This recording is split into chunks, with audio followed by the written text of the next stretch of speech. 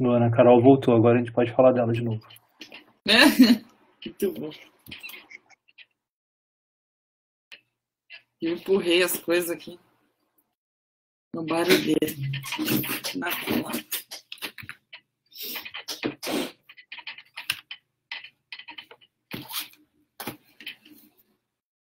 Bom dia, Luana. Bom dia. É, viu, André, Luana? Já comecei a transmissão ao vivo, tá? Nós estamos ao vivo ao Facebook.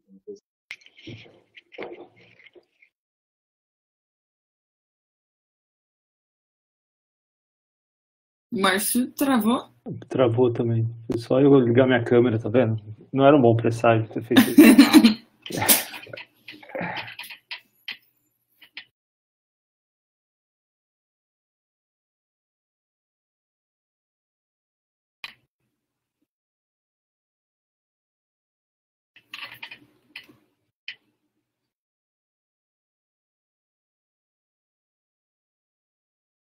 Esperamos ele. O professor Rodrigo tá por aí também, né?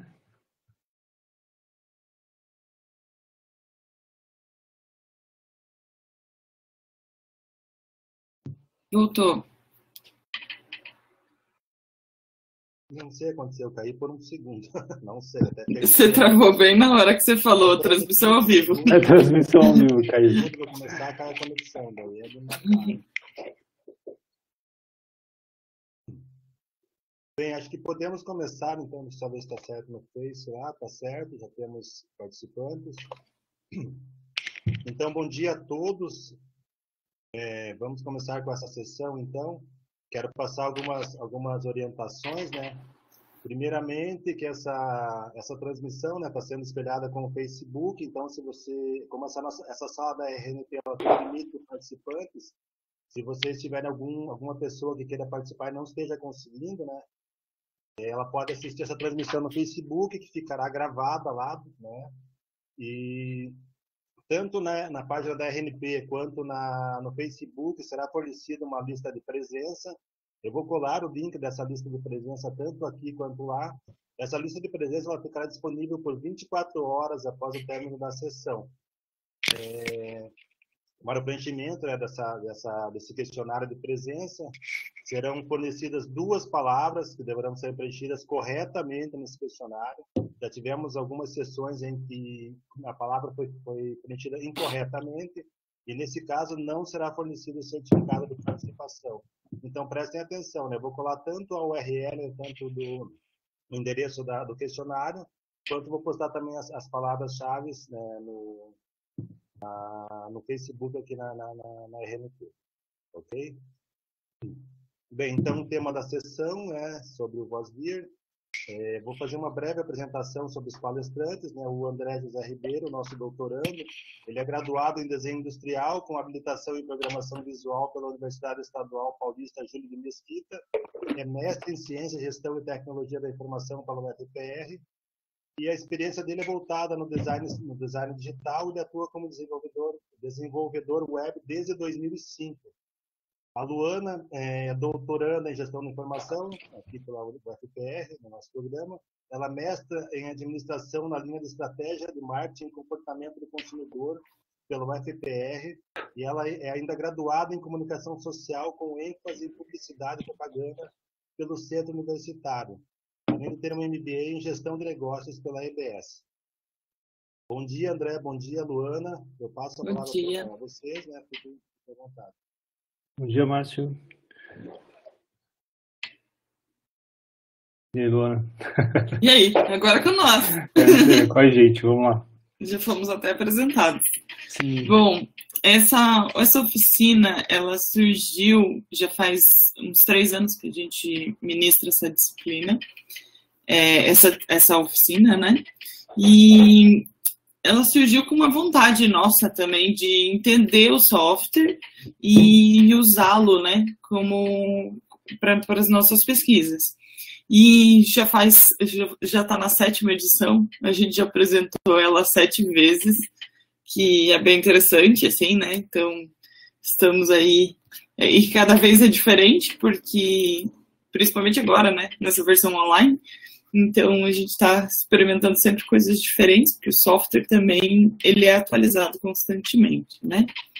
Então, para para todo mundo poder acompanhar, assim, e quem quiser participar e fazer junto, a ideia é fazer bem como oficina mesmo. É, a gente a gente é, criou uma, uma sala no Classroom. Deixa eu colocar aqui o, aqui na lateral.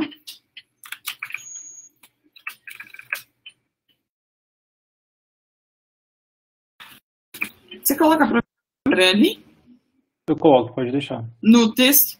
E, então vocês podem entrar lá, lá vai ter é, o, a apresentação que a gente está usando, vai ter a, a, o, link de acesso ao Voz Viewer, é, vai ter todas as referências que a gente usou, né, os, os artigos referências, e também vai ter as bases de dados que a gente vai rodar aqui hoje. Então, quem quiser é, ir com a gente, né, e, e, e, aplicar, pode já fazer o, o download do, do, do VozViewer. É, o link, vocês, vocês vão entrar no site do VozViewer mesmo. André, coloca aí. Vou deixar. Sou assistente, então. É, né? E vai clicar em download, vai fazer o download para o sistema que vocês estiverem utilizando. Ele é, um, ele é um arquivo super rápido, é bem leve, é um arquivo executável, então basicamente você baixa o, artigo, o arquivo e ele vai rodar é, utilizando esse executável. Então é bem, bem tranquilo, assim, normalmente em cinco minutos você faz o download aqui e como não precisa instalação, é só abrir o arquivo. Então, se vocês já quiserem fazendo isso, lá para metade ali da apresentação a gente vai é, conseguir, vocês conseguem acompanhar junto, tá? Ah, já que a gente está mostrando aqui o site da VOS Viewer, né, André? Ele aqui vai ter a aba de publicações. Então, nessa parte de publicações, vão ter todos os arqui arquivos técnicos é, relacionados ao VOS Viewer. Então, quem já publicou algum artigo, é... coloca aí, André. Hum... Isso. O pessoal não está conseguindo acessar a sala do Classroom. Já vi que tinha uns students. Uh... a gente já tem 12 estudantes lá, Luana.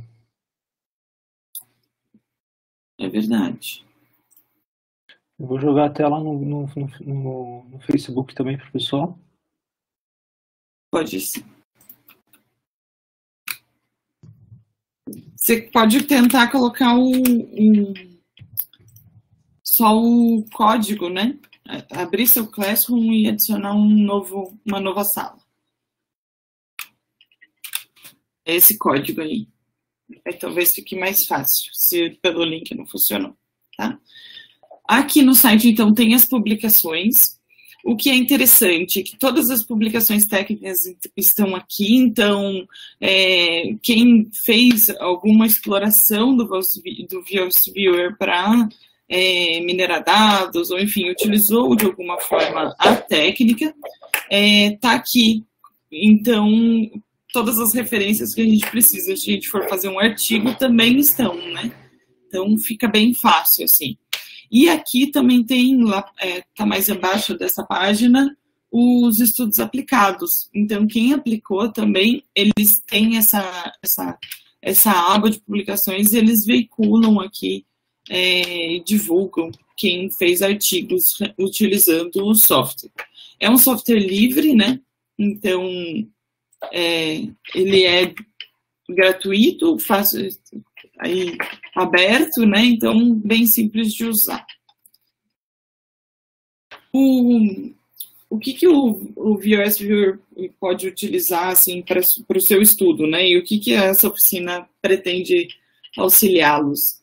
É, e a gente entende que é um caminho que ajuda a construir o estado da arte do seu, do seu tema de pesquisa, porque a partir do momento que você entende é, um software e você, é, a partir do momento que você roda e quando você já leu o suficiente sobre o seu tema, quando você chega ali na, na parte de visualização, você já consegue tirar vários insights, então pode te ajudar bastante. Também te ajuda a referenciar, né?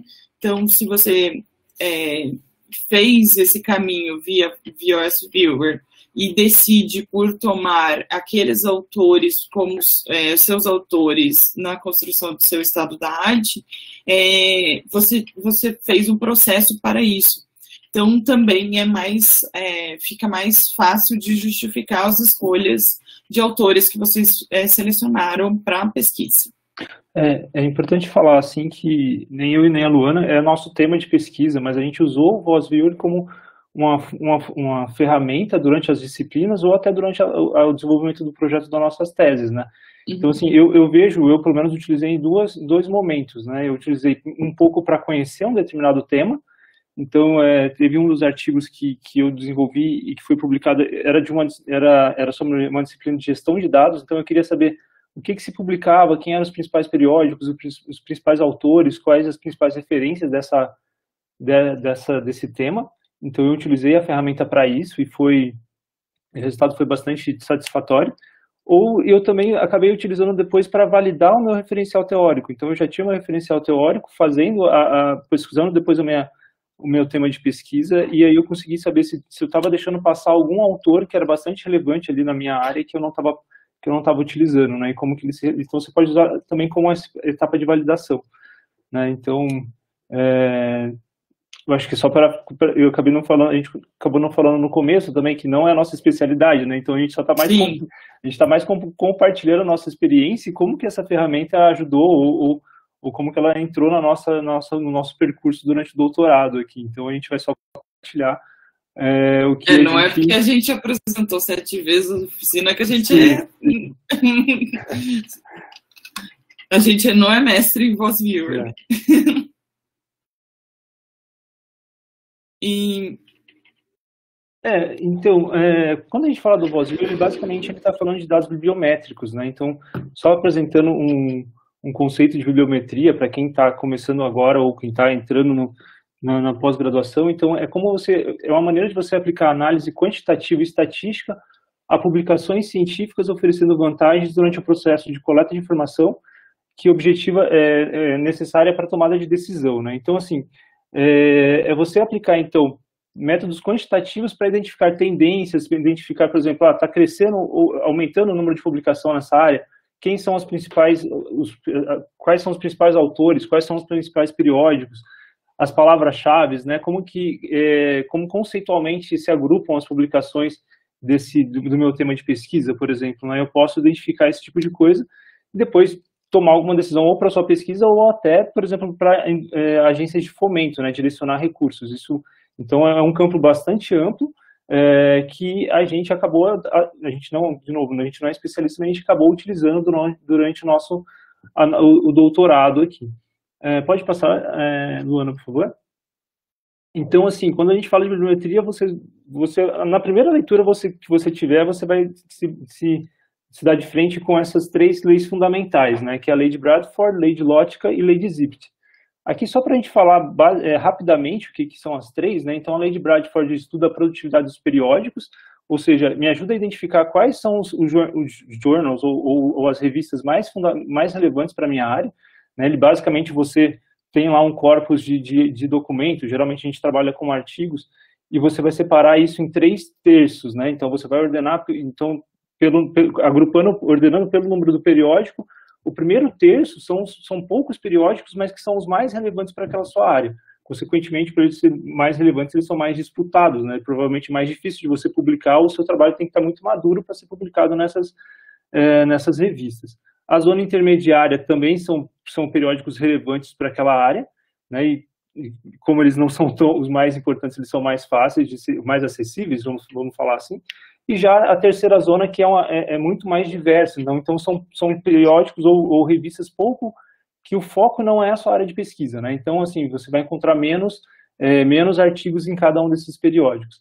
A, a lei de Lótica, ela tende a, a, ela funciona de uma maneira parecida, mas a ideia é que, é que você identificar no seu corpus assim que você vai ter poucos autores com muitos artigos, com muitas publicações, ou seja, aqueles autores são os autores mais mais relevantes também, mais atuantes na área, e você vai ter a grande maioria dos, dos, dos autores com, com, uma publicação, né? Aquela história da, da cauda longa, né? Então você vai ter poucos com muitas publicações e muitos autores com poucas publicações. E a lei de Zipft, ela vai estudar a frequência e a ocorrência de palavras, né? Quais são os termos mais recorrentes naquela naquela temática. Então, assim, você vai, claro, você vai ter uma, é, vai ter todo um cuidado para tirar as palavras que não são relevantes ou que não trazem nenhum valor semântico, por exemplo, preposições, alguns verbos, algumas coisas, e depois você vai estudar a relação. Então, tem algumas variações também dessa lei Zipft. Essas são as leis fundamentais, que, que, que são as grandes leis da bibliometria, mas que tem variações e tem uma série de especificidades que não é o, não é o foco da nossa, da nossa oficina. Né? Luana, tem algum complemento? Não, é isso aí mesmo. Tá? Aqui, é, aqui, basicamente, a gente pegou um, uma tese como referência, que é uma tese de 2011, que fala sobre uma proposta para metodologia para estudo biométrico. Né? Então, você tem desde o começo, da definição do problema, seus objetivos, a elaboração da, da, da, da sua pergunta de pesquisa, é, e aqui a gente vai trabalhar algumas áreas, né? A gente vai falar basicamente da, da seleção das bases de dados que vão compor o seu, que vão é, você é a fonte da, do seu corpus, né, do seu conjunto de documentos que serão analisados. É, a gente vai tratar um pouquinho de estratégia de busca, vou falar um pouquinho como, para quem, de novo, né, para quem está, o foco aqui é bem para quem está começando, quem está iniciando sua pesquisa, é, de como você monta a sua estratégia de busca. A gente vai dar um exemplo aqui que é, eu e a Luana, a gente trabalha, tinha em comum, principalmente na, na, na, no começo, assim, a inovação como tema em comum, então a gente é, escolheu esse, esse exemplo, para que seria fácil para nós dois, o mais familiar para nós dois, é, a gente vai validar esses resultados e depois vai, isso, isso, é, é isso é um processo iterativo, né? Então, a partir do momento que você montou a sua estratégia, você vai fazer a busca. Né? Isso pode acontecer, ah, eu não, pode acontecer se você montou uma busca muito específica, trazer poucos resultados e aquilo não te ajudar. Ou, de repente, você fez uma, uma busca muito aberta, ela te trazer muitos resultados, você tem que começar a refinar a sua busca até chegar no meio termo entre você ter é, um, um, número de documentos possível de você fazer uma análise bibliométrica, tá? Então, assim, você vai refinando sua busca até que você valide e vai coletar esses dados e depois vai passar para o software de análise. Aqui, no caso, né, a gente tem até, é, eu trabalhei com a professora Denise e o doutorando Paulo sobre algumas, algumas comparações entre softwares de bibliometria, o VozViewer se saiu bem na montagem de redes bibliométricas, né? Então, assim, esse que era, ele é muito fácil de ser usado e o resultado é bastante, é, é bastante satisfatório. Né? Então, assim, a gente tem outros softwares bibliométricos para testar até as leis que foram citadas anteriormente, mas o foco do VozViewer é realmente as redes bibliométricas. Uh, eu acho que era isso, Luana, pode passar, por favor. Bom, então tudo começa com a sua seleção de base de dados, né? Então a gente vai verificar algumas aqui, é, como que você faz para selecionar esse, o seu conjunto de dados que vai ser analisado. Pode passar. É, ah, isso é importante. Então, assim, o primeiro, a primeira questão que as, as bases de dados é, científicas, a maioria são restritas, né? A gente não consegue ter acesso aberto, assim, sem, sem ter um vínculo institucional. Então, é, quando eu entrei no mestrado lá em 2012, né, depois eu fiquei um tempo fora, eu voltei para o doutorado, ah, como que era feito? A, a, a, universidade tinha um convênio direto com essas bases, então a gente tinha aqui é, no portal.fpr.br as bases de dados restritas, então você queria abrir, acessar a Web of Knowledge, a Scopus, ou, é, e você acessava por ali, e para acessar de casa você tinha que fazer um esquema de proxy, então você fazia uma configuração no seu computador que a sua conexão passava pela universidade, para você ter acesso a essas bases. Hoje a gente consegue, por esse acesso café, é... então, assim, acho que pode ir passando tela a tela. Então, é uma uhum. maneira que você, que a CAPES tem, então o convênio agora é feito com a CAPES, e a CAPES garante que você tem vínculo com a universidade. Né? Então, a primeira, a primeira questão que você vai fazer é clicar naquele acesso café ao acessar o periódicos CAPES e selecionar a sua instituição. Né? Aqui eu não sei exatamente quais instituições fazem parte, mas basicamente as instituições públicas estão, estão dentro aqui, é, estão listadas. Eu, eu, aconteceu uma vez a gente dar oficina, essa oficina em um evento, é, e, a, e uma das pessoas que estavam lá, ela, ela não a universidade não dela não estava ali. Aí é basicamente acabou a oficina nesse momento, assim, não, é, mas assim, para as universidades públicas, ela, eles vão, você vai conseguir ter o acesso. Então, se você, você se não tiver aqui a universidade, tem que entrar em contato com a equipe de, de, da biblioteca, que provavelmente deve ter o acesso né, a base, alguma base de dados. Sim, então, sim. Depende da, da base também, né? Então, a gente vai, quando a gente chegar lá, a gente vai ver que o, o VS Viewer vai, vai receber bem algumas bases, né? Então, também tem isso, né? Depende do acesso é, que a sua universidade tem às bases que a gente precisa. Beleza? Então, ali depois aqui é importante falar que esse ambiente de login você pode digitar a sua senha e, e o seu e-mail da, da, da, UFPR sem problema porque é... ó, tem o, o, Guilherme Luiz Sinter Neves está comentando ali que o acesso proxy era também pela CAPES mas foi suspenso por conta de hackers tá? então ali informação né, é, é, e outras coisas também a gente já falou da Carol aqui algumas vezes Carol por favor qualquer coisa nos corrija ali, tá? Carol é bibliotecária da, da instituição e ela foi nossa, nossa colega durante a pós-graduação. E então aqui, esse ambiente também, quando você vai fazer o seu login, ele é dentro do domínio ufpr.br, então pode ficar tranquilo que não tem nenhum, nenhum problema em digitar sua senha. É, e para quem está começando agora ou está entrando no, no, no, mestrado, isso é, também tem, a gente deixou um link nessa apresentação para você solicitar o seu e-mail para a FPR, né? Desde que você esteja cadastrado no sistema, você consegue fazer ter o seu, o seu e-mail a FPR. Beleza. Então tá, vocês vão entrar quando, quando você, a gente depois daqui a pouco a gente vai começar a fazer o processo é, né, é, tempo real aqui junto. Então vocês vão ver que tem uma enormidade, não infinidade, mas assim tem uma série de bases de dados dentro do portal da da CAPES, do, do periódicos CAPES, e daí o que, que como que você define qual é a sua base, né? Então, assim, depende da, da sua temática, depende da, da tem, tem características geográficas, características temporais. A gente tem algumas bases, como a gente está no programa interdisciplinar, que servem, que são interdisciplinares. Então, é esse que é a nossa tendência, né? São, tem duas que são as principais, que é a Web of Science e a Scopus, uh, mas tem, por exemplo, quem é da área de saúde não consegue fazer um trabalho se não fizer uma pesquisa na PubMed, que é pra, é, uma, é uma base voltada especificamente para a área de saúde. Uh, eu, eu, particularmente, sempre faço uma comparação entre uh, Web of Science e a Scopus. Uh, geralmente, a Scopus me traz mais resultados. Os recursos da Web of Science, a interface é mais, é mais amigável. Só que quando você vai fazer um trabalho é, bibliométrico, geralmente você tem que fazer mais, utilizar mais de uma base. Não é nem escolher uma, você vai selecionar mais de uma base. O que acontece, por exemplo, com o VozViewer ou quando, por exemplo, o BibleShine, que é uma, é uma, é uma das ferramentas que a gente utiliza também para análise bibliométrica, é que ele fala, eu só aceito arquivo de uma base por vez, digamos, né? Então você vai ter que optar qual base que eu vou utilizar, né? Então aí você vai ter que, é, que analisar, tá bom?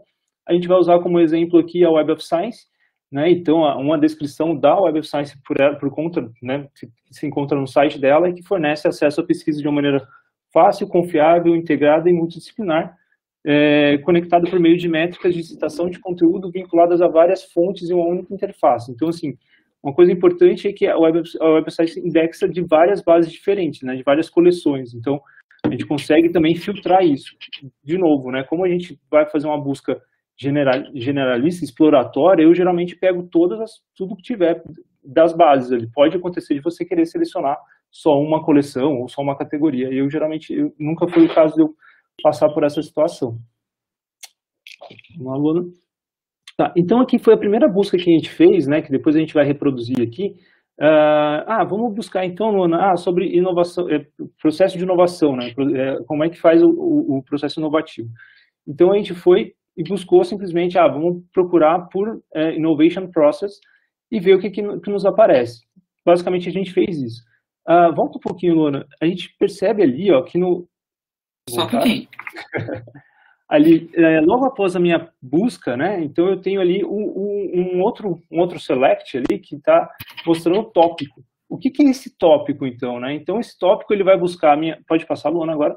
Ele vai buscar no título do documento, no resumo e nas palavras-chave. A gente vai ver aqui depois que a hora que a gente colocar no, no, no VozViewer os arquivos exportados, existem duas categorias de palavras-chave aqui. A primeira são as palavras-chave dos autores, ou seja, como que o autor definiu, quais as palavras-chave que o autor definiu, é, definiu para indexar aquele documento dele, e depois tem o próprio, o próprio, a própria Web of Science faz uma indexação e uma, e uma etiquetagem, vamos, vamos, posso chamar assim, para indexar aquele documento, que eles chamam de Keyword Plus.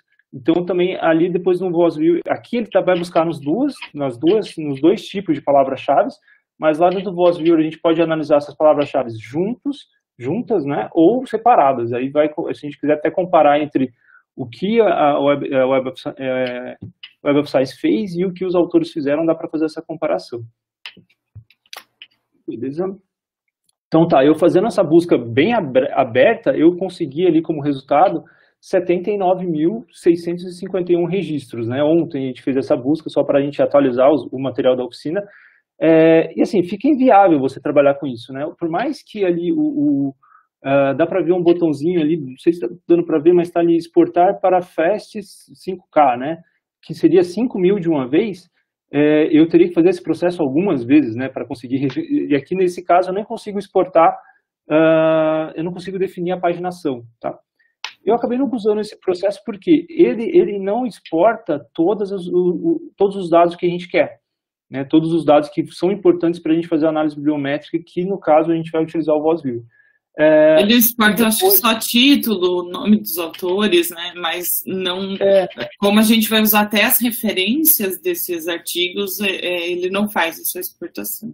Nem o resumo vai, né? Então, se, por exemplo, eu já fiz algumas hum. pesquisas para fazer mineração de texto com resumos de artigos. Então, nesse caso, também já, já não poderia usar essa, essa, essa opção.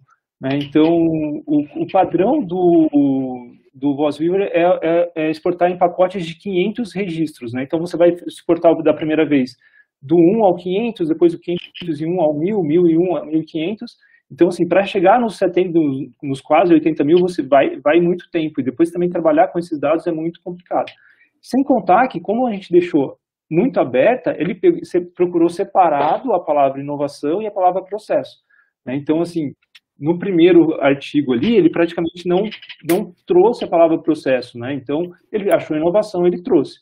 Então, aí a Luana, pode passar, por favor?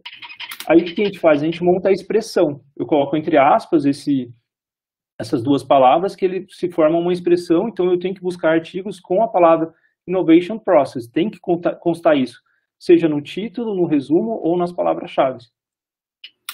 E agora eu acabei não mostrando, mas depois a gente vai reproduzir isso, então já cai bastante, sabe? Aqui a gente mostrou uma variação que é o seguinte, uh, por exemplo, pode acontecer de eu ter sinônimos, então eu vou procurar, igual a gente, uma das oficinas a gente fez com, com o doutorando Luiz, que ele trabalhava com discurso de ódio, né? Então, ele chamava lá que era cyber hate ou hateful, por exemplo, eram sinônimos.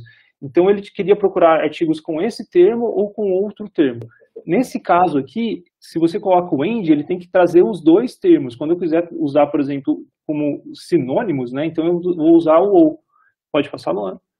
Então é importante a gente se atentar a isso. Né? Então ele vai procurar, nesse caso, quando eu usei o or, ou Innovation Process ou Innovation Model. Então ele vai procurar um dos dois, um dos dois, tá? Se você estiver trabalhando com um tema que tenha uma espécie de sinônimo, então você tem que trabalhar com ou se você quiser, não, eu quero trabalhar dois termos que não são sinônimos, mas que eles têm que aparecer em conjunto. Então você tem que usar o AND. Exato, Guilherme. É, é. Innovation Process é diferente de Innovation and Process.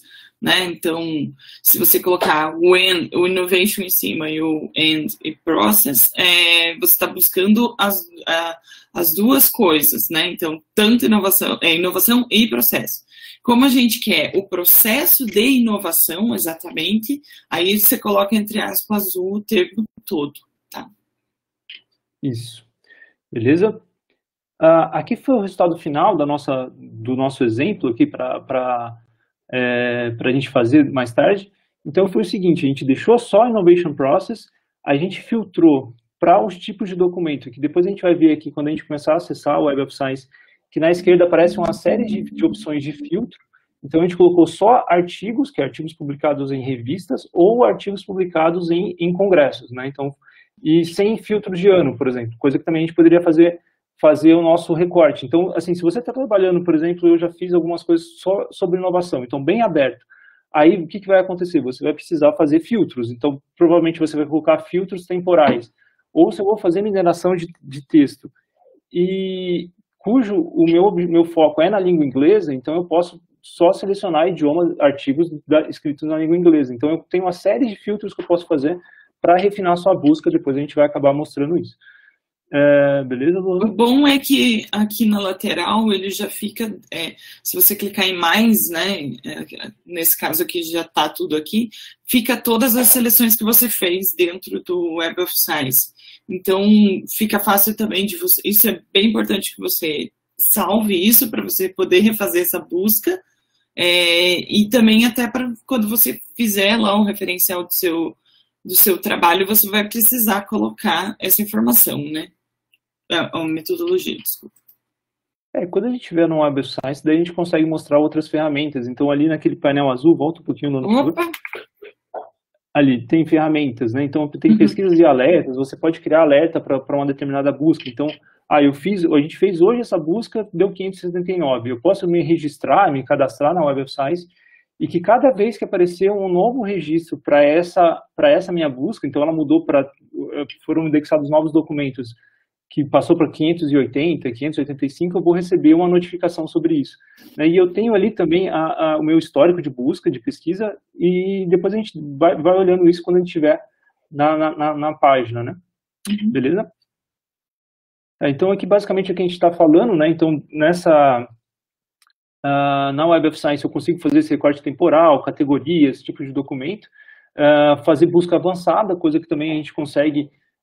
Aí a gente tem uma, espécie de auxiliar ali, mas a gente tem que olhar a, as dicas. Então, TI, por exemplo, onde está nessa busca avançada, é de título. Então, eu estou procurando é, innovation ou inovatividade, por exemplo, é, e o, o, ano de publicação, publish year, igual a 2016. Então, eu consigo fazer essas, na busca avançada, eu consigo fazer basicamente qual, qualquer coisa que eu quiser buscar numa base, eu consigo. Tá? E também eu tenho dentro do, do, da própria Web of Science uma série de ferramentas que me ajudam a analisar o meu resultado. Né? Então, é, depois a gente vai olhar isso de novo, né, ressaltando, então eu consigo ver tendências, quais são os autores, quais, direto na Web of Science eu nem preciso fazer, nem fazer, utilizar nenhum outro software, eu posso fazer isso direto lá, uh, e com a possibilidade de sempre exportar isso para depois importar em outro, em outro software, ou no seu artigo, ou no seu, no, no seu trabalho, enfim, onde você quiser, uh, eu consigo utilizar a própria Web of Science como fonte desses dados para gente, a gente utilizar em outro lugar. Para a gente exportar isso, então, é, então a gente deixou a apresentação basicamente como um tutorial, depois para quem quiser acompanhar o passo a passo, se estiver sozinho, é, você tem que, é importante fazer esse, esse processo, né, ó, é, selecionar outros formatos, depois ali no gravar conteúdo, tem que ter aquela, ou não tem que ter, mas você vai ter muito mais recurso quando você colocar referências citadas ali embaixo, e nos registros aí você vai depender da página que você está. Se você está na primeira página, vai ser do registro 1 até o registro 500. Então, se você teve lá 1.300, aí depois na segunda página, registro 501 até o 1.000, depois o, o último 1.001 até 1.300. Tá? Então, eu vou fazer para 1.300 registros, eu teria que fazer esse processo três vezes. Tá? Ali embaixo, uh, para utilizar no Voice Viewer, o formato é esse separado por tabulações. A gente o Windows e o Mac para a gente nunca deu diferença. Não deu diferença, a gente é. baixou e não faz diferença. Né? É, tanto que a gente usa Mac e esse, esse formato vem no Windows, não, dá, não, não tem problema, só que o importante é selecionar o TF8 para evitar problemas de acentuação. Tá? Então, assim, selecione, lembre-se sempre de colocar o TF8. Tá? Se você for usar outro software, geralmente tem a especificação, igual o, o BiblioShine, ele vai usar um formato aí que é o Bibliotext. Então, assim, não vai, se você pegar esse arquivo que a gente exportou para o Voice Viewer não vai funcionar no BiblioShine, por exemplo. Tá? Então tem que, tem que tomar cuidado e você já vai saber, definindo o software que você vai usar, qual que é o formato que ele vai utilizar. Beleza? Então, falando um pouco da ferramenta, né, e o que, que a gente vai conseguir fazer com ele, né? Então, é uma ferramenta de construção e visualização de redes bibliométricas, né? E dentro do, do VOS Viewer, é, a gente vai conseguir fazer essas redes, né? Então, as bases que a gente pode usar é o Web of Science, o Scopus, o PubliMed e esse Dimensions.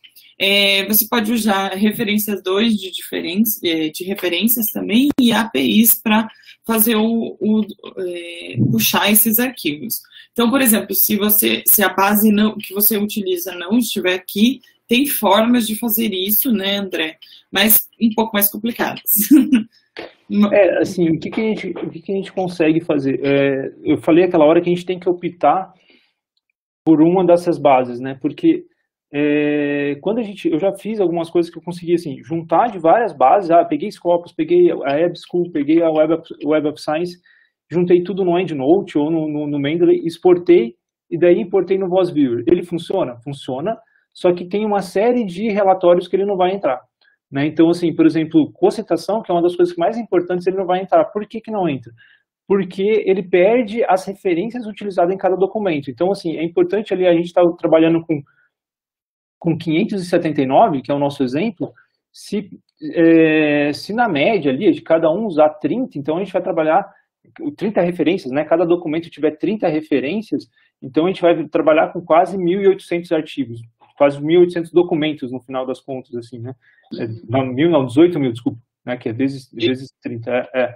Então, assim, quando a gente passa para algum software de gerenciamento de referência, ele perde, né? Eu, eu já pesquisei, procurei para algum, perguntei para algumas pessoas se tem algum que guarde isso, eu não achei. Então, se alguém tiver, se alguém tiver alguma dica, pode pode postar aí para gente. Então, basicamente, é, a gente consegue fazer essas redes. A primeira é de citação. Citação, basicamente, é, é a gente vai poder usar publicações, os, os, os, jornais, né, as revistas, os autores, as organizações que eles vieram, né, então, de que faculdade, normalmente, e os países, tá? É, a coautoria, é, os autores que publicam juntos, né, as organizações que eles estão e os países.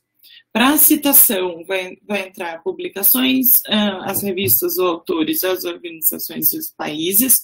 Co-citação é que a gente vai utilizar das referências mesmo. Já explico melhor a diferença entre uma e outra.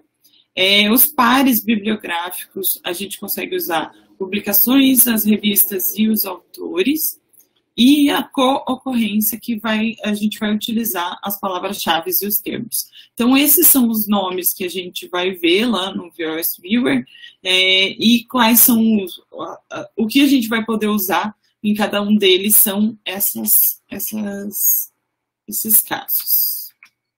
Então, a citação. É, a relação dos itens é determinada com base no número de vezes que eles se citam.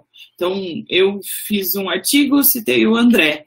É, quantas vezes a gente fez artigos, né, e foram, a gente acabou sendo, é, se citou, né, então essa é a citação. A cocitação é a relação dos itens é, de determinada base no número de vezes que eles são citados juntos. Então, dentro das referências que eu utilizei, é, quantas vezes, enfim, não é bem quantas vezes, mas ele vai fazer um código ali, vai entender. Normalmente se cita é, o André, cita a Luana também, tá? Então, ele vai fazer essa análise. Na coautoria, a relação dos itens é determinada é, com base no número de documentos é, produzidos conjuntamente. Então, o número de documentos, não o número de vezes que, que eles estão juntos. Nos pares bibliográficos, é, a relação dos itens é determinada com base no número de referências que eles compartilham. É, por exemplo, eu e a Luana somos, pesquisamos a mesma área, por exemplo. Então, eu e a Luana temos muitas referências que nós compartilhamos, né? Que ela utiliza e que eu utilizo. Então, eu sou um par, par bibliográfico da Luana, por exemplo. Essa é a ideia. A gente não precisa necessariamente ter se citado não, ou não. ter alguma conversa. Nossas, nossas referências são parecidas. São parecidas, exatamente. Na concorrência, a relação dos itens é determinada com base no número de documentos é, quais os elementos aparecem junto. Então, quantas vezes eles ocorrem é, repetidamente, né? Então, por isso que é palavras-chave e os termos. Para a gente entender melhor a rede, qual é a diferença de citação e de cocitação, né? Então, numa rede de citação, a gente tem aqui, por exemplo, o P1, ele citou o P2 e o P4, o P4 ele foi citado pelo P3, mas é, citou o P5 e o P6, né? Então, quem citou quem é, vai fazer essa rede de, de citação. E no co-citação, não necessariamente quem se citou pode estar, é, vai estar ligado, tá?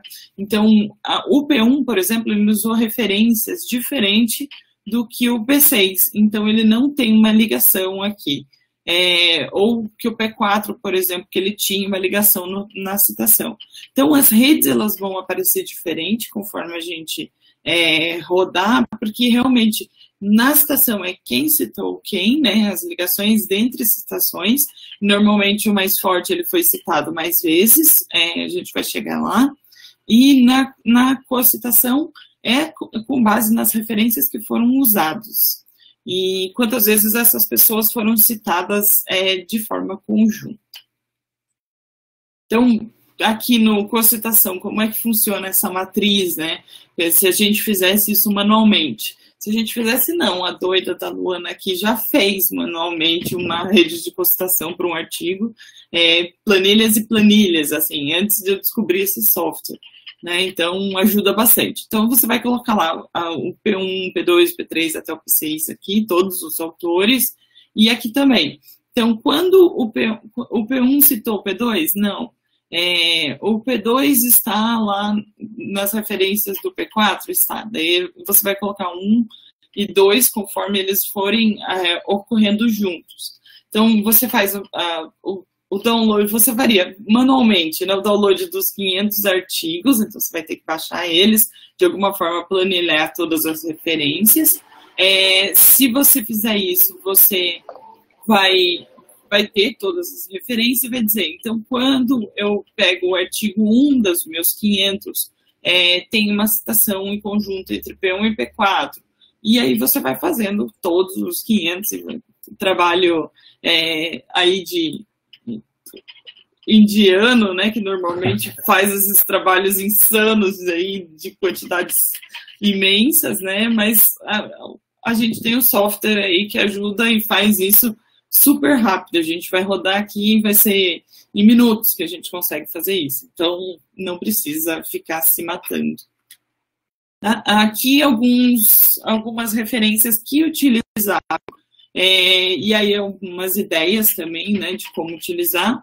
Esse primeiro fez uma análise bibliométrica, né, então eles escolheram um um jornal para fazer essa análise biométrica e os artigos são deles. Né? Então, lá no final, é, nesse artigo, por exemplo, tem uma rede de co, coautoria e aí os, os, os autores né, desse, desse journal que se é, que pesquisaram. Aqui estão tá os países, né, mas tem uma rede de autores também. Aqui tem é, as palavras-chave que foram mais usadas. Então, você pode, além de fazer uma pesquisa como essa que a gente está fazendo, é, nesse caso, eles fizeram somente de um, uma revista, né? Somente de um. É, aqui é um, um outro artigo é, e eles utilizaram a força, né? Então, vocês vão ver que tem essa opção de ver a densidade no VOS Viewer, e é bem interessante porque a gente consegue analisar a força. Eu não gosto muito, eu prefiro os links é, entre, entre os autores mais fortes, mas tem autores que utilizam assim também, tá? Nesse caso, eles, é, foi bem interessante quem, é, essa referência, porque no final eles pegaram esses artigos e também verificaram se eles tinham relação com o tema que eles queriam ou não, né? Então eles voltaram nos artigos, porque de alguma forma é, o processo não termina quando você sai do VOS Viewer, né? Não é aquele, não é o gráfico que acaba com o seu processo. Então você tem que analisar os clusters, ver o que que, que deu de resultado mesmo. E nesse caso eles é, acharam a maioria é, negativos, né? Então é interessante também de ver, porque eles fizeram um processo bem detalhado em relação a isso. Aí tem esse artigo meu. Como diz o André, vamos, vamos é, trazer aqui as nossas referências, então, meu e do professor Rodrigo. A gente é, pesquisou inovações e de, é, redes sociais digitais é, para mapear dados de costação, está publicado já esse artigo, né? E basicamente a gente conseguiu esse mapa de costações, né? Então, essa, essas três clusters, né, que ficaram aqui, eles estão meio emaranhados, a gente volta neles depois e faz uma revisão, né, do que, por que que eles se agruparam, né? Então, eles eram é, artigos principais, eles eram artigos seminais, eles eram são artigos que trazem coisas mais novas. Então, essa é a ideia, né? No final, você tem que voltar para os artigos e verificar. Aí tem um artigo do André, também faz assim, André. não vou fazer, não. é, que, que, ele também publicou com o Cícero, o professor Cícero, então tem aqui também, é possível de utilizar esse método para publicar artigos, tá? Então, é, realmente a gente testou na prática e funciona, né, André? É, o André também tem mais um artigo né, em, em, andamento.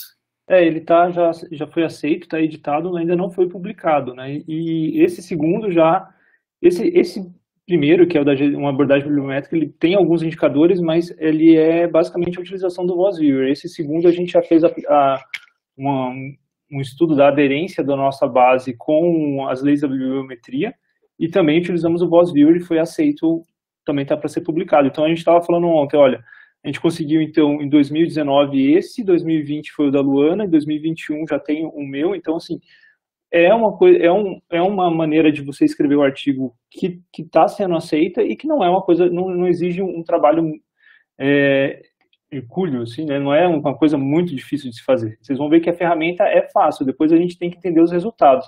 É, uma coisa que a gente não falou, assim, mas que, que é importante dizer, que a, a diferença, ah, qual que é a diferença, não vou, não vou entrar em conceitos, mas, ah, porque quando eu faço uma revisão sistemática ou quando eu faço uma análise bibliométrica? A análise bibliométrica é para a gente trabalhar com indicadores, assim, para a gente trabalhar com milhares de artigos, né, para trabalhar com muita coisa. Você não vai ler um a um, diferente da análise uhum. sistemática. Tem até uma, uma, oficina de prisma que vocês vão ver que lá a ideia é que você saia com uma quantidade de artigos que seja possível de você ler todos na íntegra, né? Essa que é a ideia. Aqui a gente vai trabalhar com indicadores e tem alguns que vão, vão conseguir, alguns que se destacam na rede, que se fala, esses são leituras obrigatórias que você tem que ler. Né, né Luana? É mais ou menos isso, né? Respondendo aqui a Rafaela, sim, a gente aplicou exatamente o que a gente vai fazer aqui. Então, claro, né, que quando a gente vai fazer um artigo, a gente vai fazer todos os processos com cuidado, vai anotando, vai, né, vai tomando todos os procedimentos, mas basicamente é, é isso. Teve uma pergunta antes ali, que é da Mayara, que era sobre se consegue inserir dados é, de uma planilha no Excel no VozViewer. Em princípio, não, não existe nenhuma opção lá, porque vocês vão ver assim que o VozViewer ele vai quase o fluxo de trabalho dele vai te guiando, né? Então ele vai começar, ah, como é que você, que você quer fazer a sua rede a partir de um arquivo de rede, de dados bibliométricos ou de um arquivo de texto. Aí, de acordo com a opção que você escolher, ele vai te dar outras opções. Então ele vai te, é como se fosse uma árvore que vai te direcionando. É, não tem opção Excel, por exemplo. Tá? É, você conseguiria fazer alguma outra coisa. Se você tiver por exemplo, esses arquivos que você tiver nessa planilha Excel, todos tiverem DOI, você consegue fazer o VozViewer buscar todos os, todos os dados baseados no DOI. Mas aí não vai ser no Excel, você consegue fazer até de um, de um TXT. Mas a gente mostra isso também mais para frente. Quando uh, a gente for rodar, acho que fica mais claro é, isso, André. O que, que, só... que, que vai funcionar mesmo. Uhum, deixa só, as outras perguntas, Luana, tem duas da Rafaela, né? Tem, tem mais uma. Se a gente teve que tratar os dados, é, ou é utilizado direto do VozViewer, tá? Então, a, a, gente vai até fazer ali junto, vai ter algum tratamento de dados que precisa ser feito sim, principalmente é, autores que vão ficar com o mesmo nome, assim, né, com nomes similares, então a gente precisa fazer um tratamento ali, é, mas é bem simples, assim, para você é, colocar ele no, no Viewer ali. É, basicamente é isso que, que a Lona falou, assim, às vezes você vai ter autores que a escrita está diferente, ontem eu vi, ontem eu vi um caso de estava escrito errado mesmo, então assim, aí ele acaba sendo considerado dois autores distintos, aí você tem que fazer um tratamento para você falar, não, esse, esse, essa é uma entidade só, é uma única pessoa, e às vezes vai ter algum tratamento conceitual, por exemplo, você tem palavras muito parecidas que você quer falar, não, isso aqui é um conceito só, né? então, sei lá, pode ter organizações e organização, que para você o conceito é o conceito de organização, né? então você quer juntar isso, então você também consegue fazer fazer essa junção para depois melhorar a sua análise, mas é mais esses detalhes, né, Luana? Não tem que. É, você não vai, você não vai selecionar muitos artigos que você fez, então a, a, seleção é no, no. A gente usa no Web of Science mesmo a seleção. É, é, é exatamente assim, porque que, que, o que, que acontece? Você consegue importar vários arquivos ao mesmo tempo, do jeito que ele sai da Web of Science. Você não vai mexer nos arquivos que foram exportados de lá, isso que é importante. Aí depois que você só vai, vai mostrar, vai subir um outro arquivo de tesauro, a gente vai explicar depois o que, que é isso, é, no VozViewer para dar algumas orientações de como tratar aqueles dados. Ela tá, então, ela, ela fez uma pergunta ali, do André teve 3.200 artigos, eu até abri aqui, porque no final o meu deu 26 mil referências. Então, é, é muito simples. É, o, o software é genial por isso, porque é muito rápido de você usar, mesmo usando esse tanto de artigos, né? Ele fica fácil, assim. Então, vamos, vamos ir para a parte prática, que eu acho que várias dessas coisas vão se respondendo, né, André? Então, aqui no André ele usou a mapa, o mapa de palavras-chave, né, mapa de todas as palavras. Então, basicamente é isso. Nesse arquivo aqui, é, que vai ficar para vocês, esse arquivo dessa apresentação, ele tem o passo a passo. Então, quando vocês estiverem sem nós aqui ajudando, vocês podem utilizar aqui o passo a passo, que é como vai funcionar lá no software, tá? Mas vamos fazer aplicados, que eu acho que é mais prático aqui, fica melhor para nós, tá? Então. Luana, deixa eu te fazer André? uma pergunta. Você. De repente faz, você pode fazer, porque aí eu tô com uma tela só, daí eu não vou ver vocês. Eu posso fazer, mas aí você como tá com duas telas, você consegue ver a gente, né? Consigo se eu tivesse feito os downloads. Não, mas a gente não vai fazer a parte do. Deixa só. Deixa, só... Aqui. Ah, deixa eu fazer aqui então. Deixa se você consegue, André. Qualquer coisa tá. eu, eu, eu, eu falo as perguntas. apresentadora. Tá bom. eu não baixei as coisas, não, André. Eu confiei. Não, tá tudo certo. Eu vou colocar Deixa eu ver, deixa eu aproveitar. Então, tem 34 aqui que conseguiram nosso acesso no Classroom. Deixa eu copiar aqui novamente. Estão vendo, né? Sim. Então, tá. Uh, então, o primeiro passo é o periódicos CAPS. Vou fazer exatamente como estava. Eu não estou vendo vocês, então, por favor, qualquer coisa me avise. Então aqui Sim. ele já está falando, né, que a gente está tendo um acesso gratuito, por isso vai ser limitado. Então a gente vai ter que ir pelo acesso café. Deixa eu esconder esse negócio aqui. Selecionar o FP, FPR. Opa! Vou parar, eu não vou.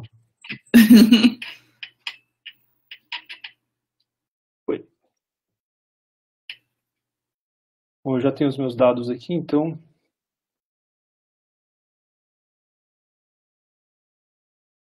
Não está permitindo? Então você abre o Classroom, normal, assim, e clica em adicionar. É... Estou usando o mesmo pedaço de é, e você clica em adicionar esse, esse e coloca esse código. Oi, Luna? Não, Beleza? só porque a, a Tranquilo. É... Então tá. Vou buscar a nossa base aqui. Então, Web of Science. Coleção principal.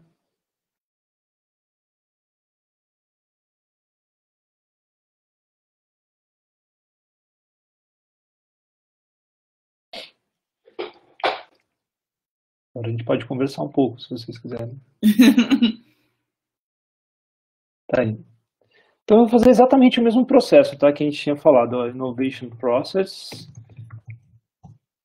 Aqui ele tá, não fiz nada, só entrei e, e, defini. Então veio aqui quase 80 mil registros, né? Na minha, deixa eu subir um pouquinho aqui, tá? Quase 80 mil registros. Mas é, como eu falei, como são duas palavras distintas, né? Teve até a sugestão ali de a gente colocar Innovation and Process, que aí eu, aqui, ó, eu posso clicar em exibir o resumo, não, apara, não aparece a palavra process para mim, processo, né? Então, é, ele sempre vai destacar a palavra que ele achou. Então, nesse caso aqui, nesse segundo artigo, ele trouxe a palavra innovation, mas não trouxe a palavra process para mim. Tá? Então, eu poderia voltar, clico aqui na palavra pesquisa, eu volto para onde eu estava, e aí eu vou colocar entre aspas que eu quero exatamente essa expressão. Tá? Então, uh, vou voltar aqui, para ver o resumo, está aqui, ó, da Innovation Process, está uh, aqui no resumo, ele está achando a maioria das vezes. Se for um artigo, por exemplo, eu já, igual eu comentei, eu já quis pesquisar sobre inovação, muito aberto, né? Assim, o que, que eu fiz daí? Eu pesquisei só no título, então eu pego quero que esse termo esteja no título dos documentos, tá? Então, só para a gente comentar, por princípio, aqui a Web of Science ela traz os artigos mais recentes. Então, esse artigo, deixa eu só ver, não estou vendo o ano, mas Aqui, ó, abril de julho de 2021, ainda está para ser publicado, né? Mas é, eu posso ordenar, por exemplo, pelo número de citações. Eu tinha clicado, ele foi o mais antigo. Número de citações. Então, eu sei que esse primeiro artigo aqui tem quase 3 mil citações, é, o segundo 1.500 citações. Eu posso, aquela ferramenta de analisar os resultados que eu falei é aqui na direita. Então, ao clicar aqui, a gente consegue ver na Web of Science, por exemplo, quais são as categorias da Web of Science que são contempladas pelo, né, pelo, pela nossa busca aqui. Aqui ele está mostrando 10, eu poderia colocar, não, eu quero os 15 categorias. Ah, esse, esse, esse gráfico de área é meio esquisito, vamos colocar de barras. Então, ele traz aqui é, as categorias. Vamos colocar por ano de publicação, só para a gente saber se esse tema de pesquisa... Opa, Foi muito rápido, André. Por que, que ele tá, tá pequeno? Tá no maior. É... Ó, tô dando um zoom aqui para ver se fica um pouco melhor. Tem como vocês tirarem a gente e fica maior a tela. Aqui, ah, se você clica no pop-up ali, make, ou tornar a tela grande, aí fica bem grandão. Ah, eu tirei minha câmera para quem está assistindo aqui no Conferência Web. Ó, então aqui, eu acho esquisito do Web of Science que ele, ele, ele, ele, traz o, o ano mais recente na esquerda, né? Geralmente a gente vê ao contrário, mas dá para perceber que a, as publicações sobre o processo de inovação elas estão num platô aqui, desde 2015 que ela meio que se estabilizou. Né? Então tinha aqui um, uma tendência de crescimento, depois entrou em 2008 até 2013 de novo se estabilizou e depois teve um outro salto. Então e isso eu consigo fazer o download ou da imagem, né, dessa visualização, ou aqui embaixo eu consigo também fazer a exportação disso para Excel, né, de todas as minhas linhas, por exemplo. Né, então eu consigo, sem passar por nenhum tipo de software, só aqui pela Web of Science, é, pegar esses dados para utilizar na sua pesquisa, tá bom? Então, ajuda já, por exemplo, se você quer já as organizações, os, os autores principais, ele já dá aí referência, né? Já dá ali embaixo todo, toda a tabela que você vai precisar colocar lá no sua metodologia, então já, já encontrada aí. Então, é. fica, facilita bastante, assim. É, então aqui tem todo, todas as categorias, por exemplo, que você quiser ah, olhar, que estão disponíveis pela, pela website, estão aqui na esquerda. Então, quais tipos de documento? Então, quase 3 mil artigos. Depois aqui, é, artigos de, de, de, de, congresso, quais são os países. Tem né, duas então... perguntas aqui, André. Hum. A primeira é da. Deixa eu ver quem falou.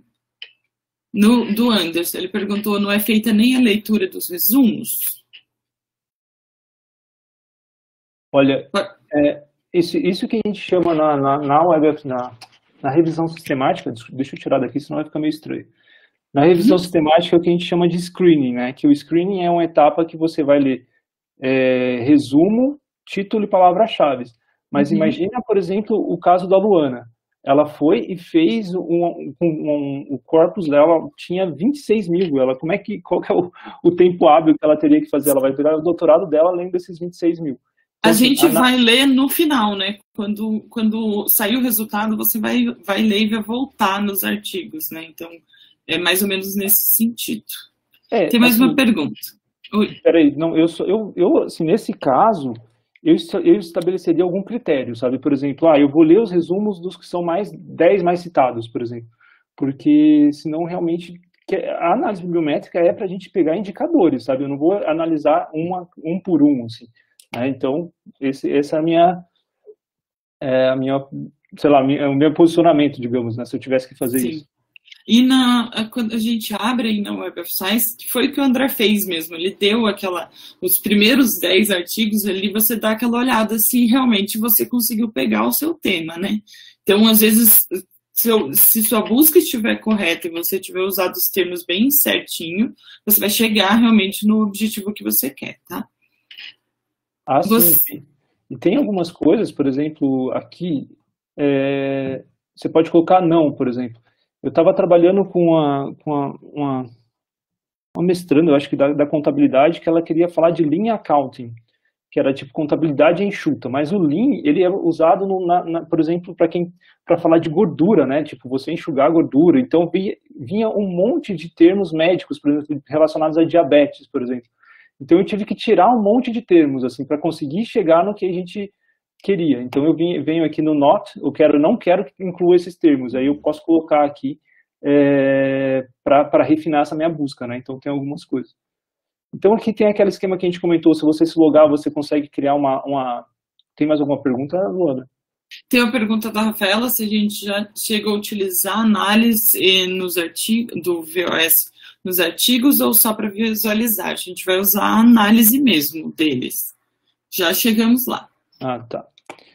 Então aqui se você quiser, por exemplo, quem está começando ali, fazer o seu referencial, quiser cadastrar a sua busca e ser avisado, então você pode fazer aqui.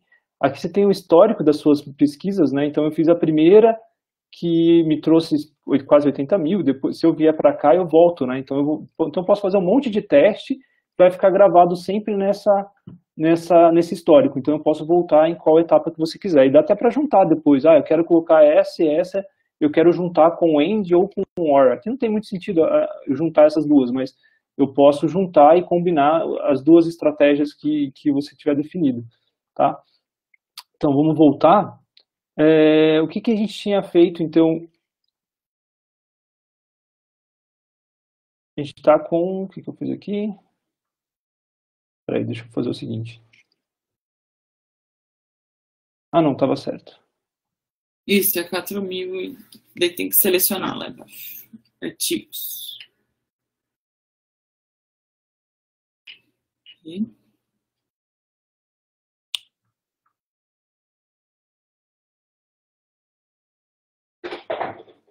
A gente tinha colocado 5 anos, André?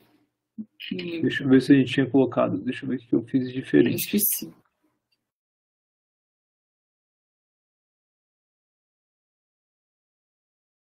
Talvez eu tenha colocado no título.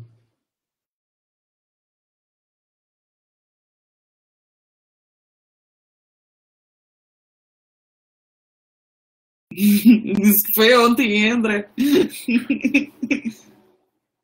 Ah, isso. Foi isso, foi isso. É. Aí, como a gente estava trabalhando ali com os 4 mil, daí a gente falou assim: não, vamos deixar para ficar mais prático. 4 mil vocês viram que é possível de trabalhar. Né? Então, você vai e você vai exportar em pacotes de 500, vai, vai, vai dar um trabalhinho, mas né, a Luana fez 26 mil, então... É... Não demora tanto, assim, né? São... Dá para fazer. É, eu fiz análise de resultados para a gente ter um pouco mais de dados para fazer aquela, para usar essa ferramenta, né? Ah, uma coisa legal deixa eu voltar, eu acabei esquecendo de falar disso. Deixa eu voltar lá nos nossos 4.007. Tem aqui, ó, criar relatórios de citação. Então, você tem uma série de, de informações sobre citação aqui. É, então, por exemplo, total de publicações, né, que foi o que a minha, a, a, minha busca me retornou, esse H-index é o seguinte, eu tenho dentro desses 4.733, 126 arquivos que tem pelo menos 126 citações. Né? Esse é o H-index, a gente geralmente usa H-index, é mais comum a gente ver isso para autor, né? qual que é o H-index de um autor para indicar quanto aquele autor é, produtivo, é, é produtivo né? É, mas aqui ele está para a sua base. Né? Então, o H-index é dentro da sua base, você tem 126 artigos que tem pelo menos 126 citações e a média de citação por item. Né? Então, você tem aqui uma média de 17. Número total de citações e tal. É importante Esse H-index e essas informações é, é, importante estarem lá na metodologia, né? São resultados já. É, você pode colocar isso, sim, são todas uhum. informações.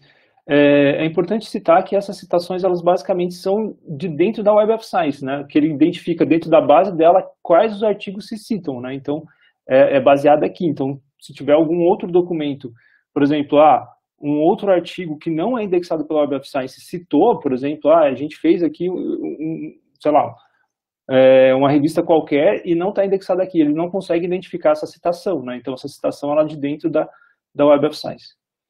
Então, vamos voltar e agora sim a gente vai exportar para a gente...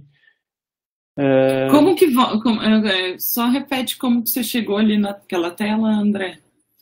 Estou pedindo aqui. Tá, ó, eu estou aqui, né, 4.733. Aqui debaixo de analisar resultados, eu tenho criar relatórios de citação. Ó. Aí só Isso. clica aqui, a gente vai cair nessa tela. Beleza, pode voltar. Oi? Então, deixa eu voltar no meu histórico. O que a gente estava evoluindo, nosso, a nossa busca era nesse 648, que a gente tinha colocado no título, Innovation Process, e aí a gente, não, vamos trabalhar só com artigo, seja de revista, seja artigo de, de congresso, né, de evento. Então eu dou um refinar aqui. Ele chegou nos 579 de, de ontem que a gente que a gente tinha achado. o, é... o Jefferson falou que foi muito rápido chegar nos 648. Então, só para volta lá na pesquisa. É que o André viu já o histórico que ele fez. É, eu fui no histórico então, de pesquisa aqui até tem um histórico ali, toda vez que você faz uma, uma busca diferente, ele fica ali, tá? Então, fica, já, ele foi mais rápido. Então, oh, não, então vamos voltar. Eu vou voltar. Todo mundo se fez o processo, tá nesse 4.733. Aí eu voltei aqui para pesquisa, para voltar à pesquisa que você está fazendo, e eu tinha colocado aqui para título. Antes estava como tópico, ou seja, ele estava buscando no resumo e nas palavras-chave. Eu falei, não, eu quero Innovation Process no título. E essa é. Foi mais para ficar mais fácil para essa oficina, né? Isso, então exatamente. você poderia fazer o tópico tranquilamente, fazer os 4 mil ali. É uhum. só para a gente ficar só com dois arquivos e não com vários. É, a gente colocou título mesmo para limitar, tá?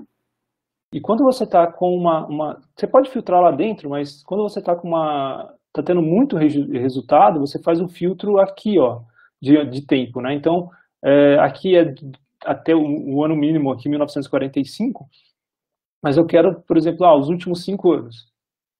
Eu quero saber o que está sendo produzido sobre esse tema nos últimos cinco anos. Não, eu quero é, um período personalizado, né? Então, você vem aqui, não, eu quero de 2000, 2000 até 2021, por exemplo. Dá para fazer isso, tá? mas aqui a gente vai deixar todos, nossa, nossa amostra não é tão grande. O único filtro que a gente fez foi colocar que o campo buscado é o título. Beleza? Chegamos no 648.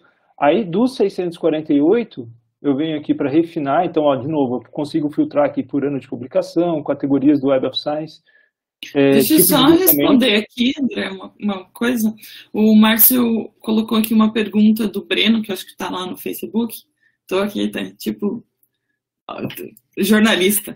Então, olá, André Luana, por favor, minha situação hipotética, utilizei a metodologia Prisma para uma revisão bibliográfica e obtive é, os artigos finais, supondo que selecionei 52 artigos é possível indicado realizar uma análise desses 52 artigos usando o VOS Viewer? Bom, é, existem metodologias que vão, vão ser melhores para vocês nesse caso, porque 52 são, é, são possíveis de rodar em, em softwares ou até em análises mais simplificadas, tá? É, aqui realmente é o, o software, a, a, ideia é utilizar com bases grandes mesmo. É, é isso, né, André? É, exatamente, assim, porque o que, que daria para você fazer, né? Você tem que primeiro torcer que esses 52 tenha DOI, que aí, aí você consegue trazer as referências dele também dentro ali da, da do Voice Viewer, né? Então, de novo, né, faz a continha ali, se cada um tem 40, então é, 40 referências, chutando, 50 vezes 40 dá 400, mais ou menos, né? Então, uhum.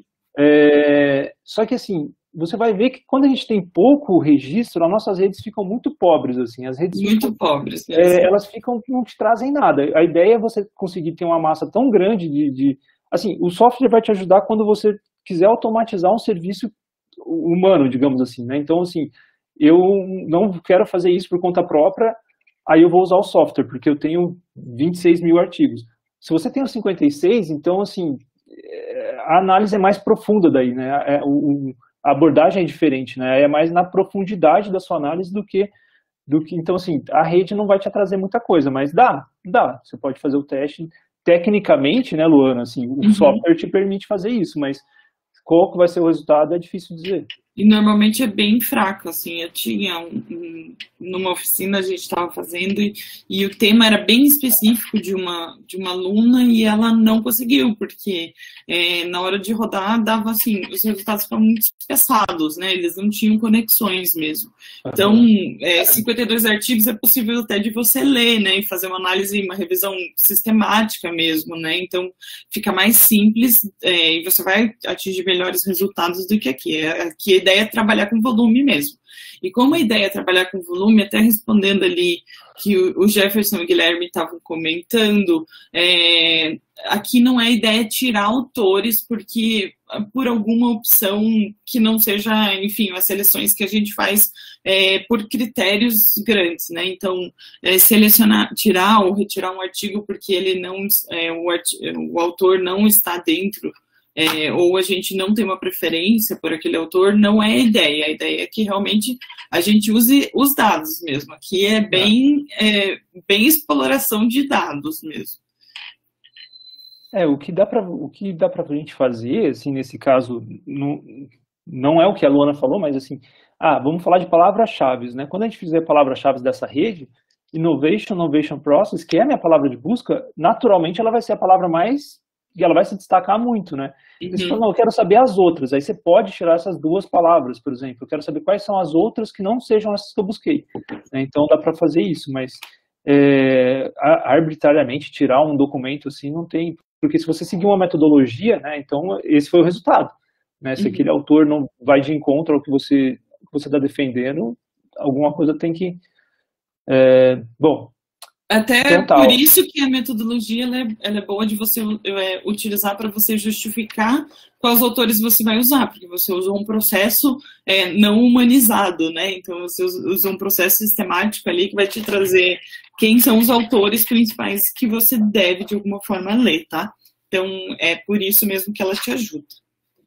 Até para mostrar. Vamos lá, André, que são 9 tá e 11. Ó, eu vou só refinar aqui. Então, eu cheguei nos meus 579 e agora eu vou exportar. Né? Então, eu venho aqui em exportar outros formatos de arquivo. Beleza? Uhum. Vou do 1 até o 500. Essa parte bem importante, tá, pessoal? Ó, registro completo e referências citadas. Essa referências citadas é a parte mais fundamental aqui porque a gente vai querer rodar o cocitação. Cocitação, exatamente. Então eu vim aqui, ó, eu vou pegar separado por tabulação o Windows, o TF8, né? Então, de novo, entre o Mac e o Windows a gente não viu diferença, mas o TF8 é importante, senão você vai ter problema de acentuação. E vou exportar. Então ele pegou os primeiros 500 registros, né? Então ele vai salvar aqui,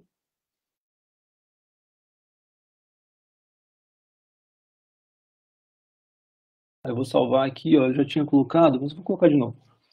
Web of Science, pós viewer.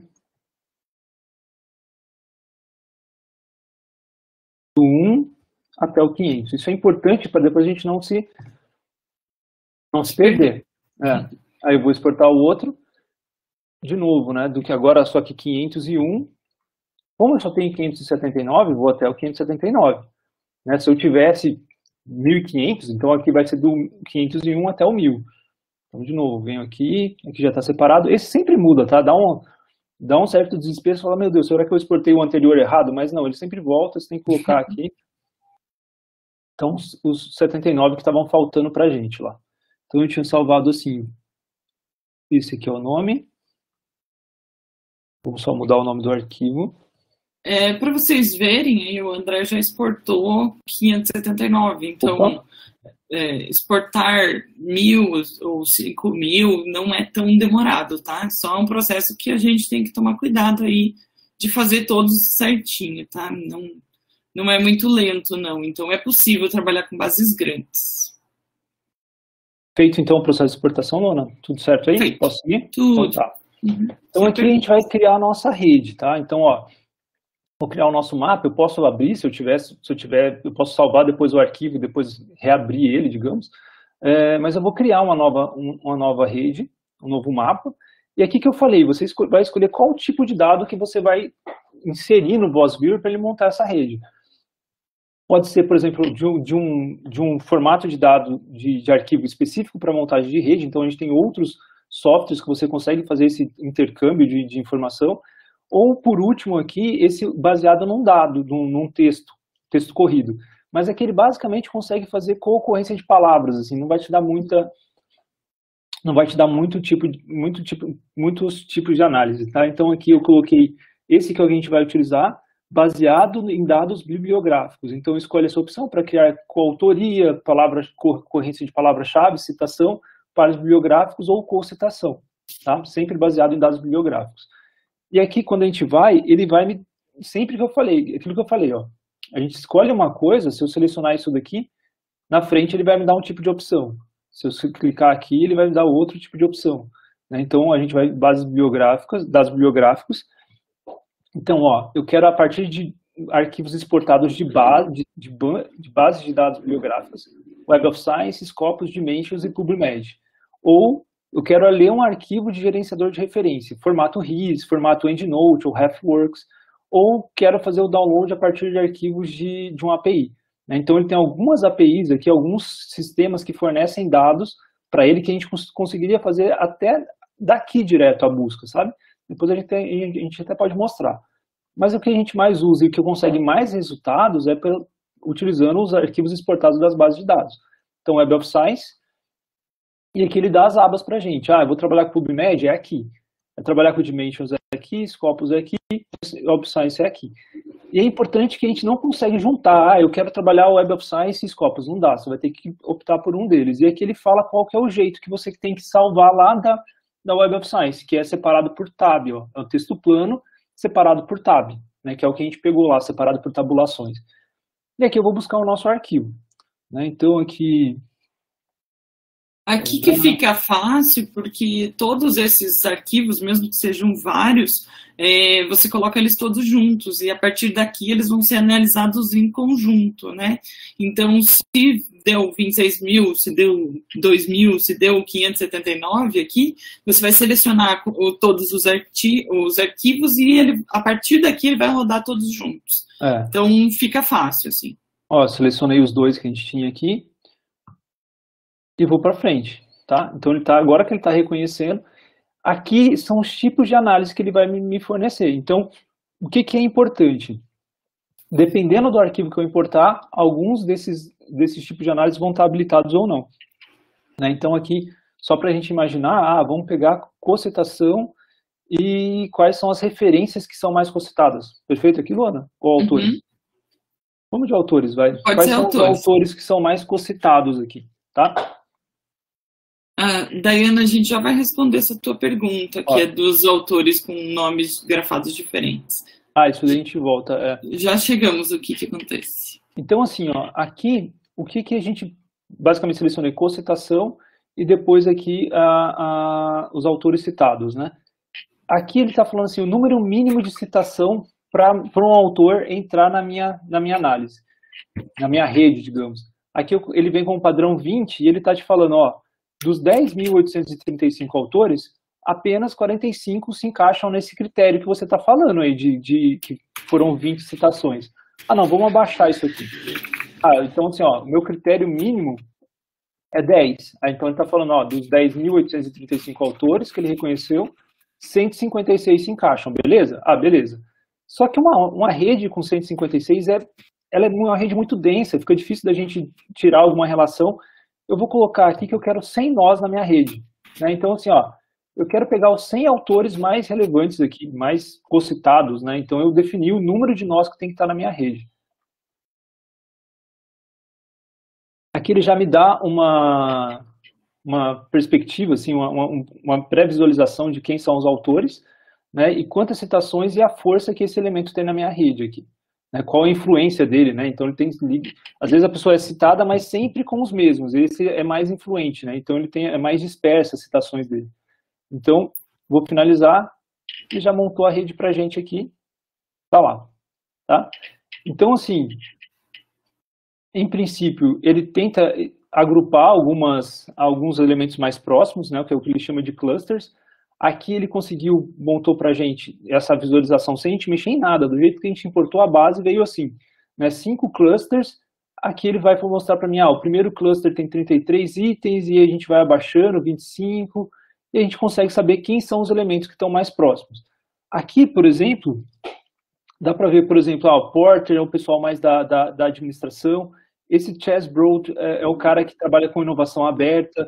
Nonaki Takeuchi provavelmente também trabalha com questão de conhecimento, é, também organizacional.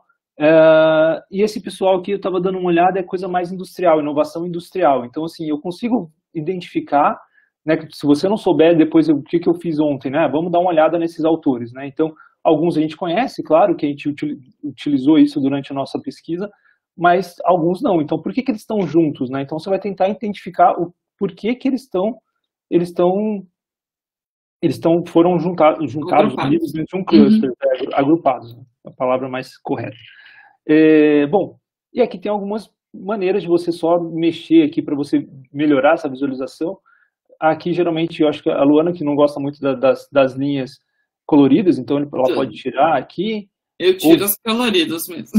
Aí aqui pode deixar reta. Então você vai trabalhando nisso. Você pode aumentar o tamanho.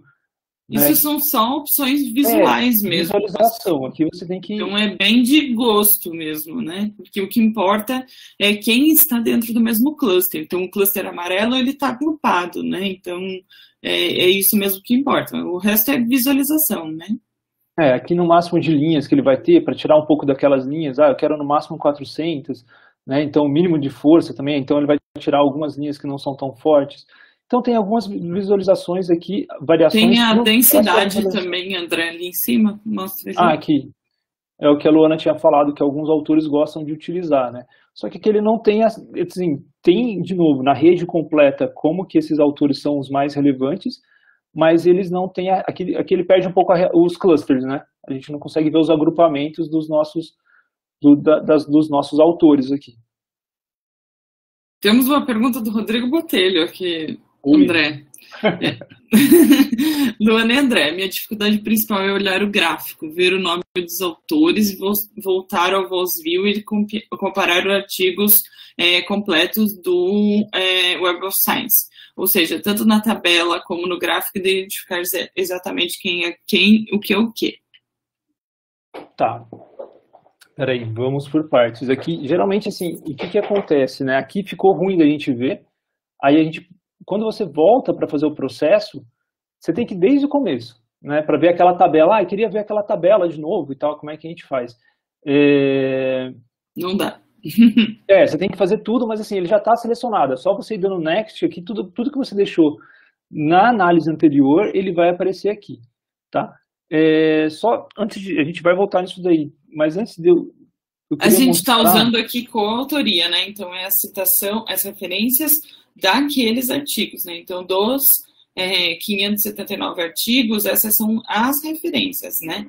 Então, quando a gente fez sim, é, a autoria, daí fica o nome completo ali. Daí que você vai achar de volta no VozViewer, é, no Web of Science. Porque esses autores, eles, esses que estão nessa base aqui, eles não estão no, seu, a, no, no, no Web of Science que você utilizou. Então, não vai ter o Chesburg, o Porter, não vai estar esses autores lá. Esses foram referências dos artigos que você utilizou tá?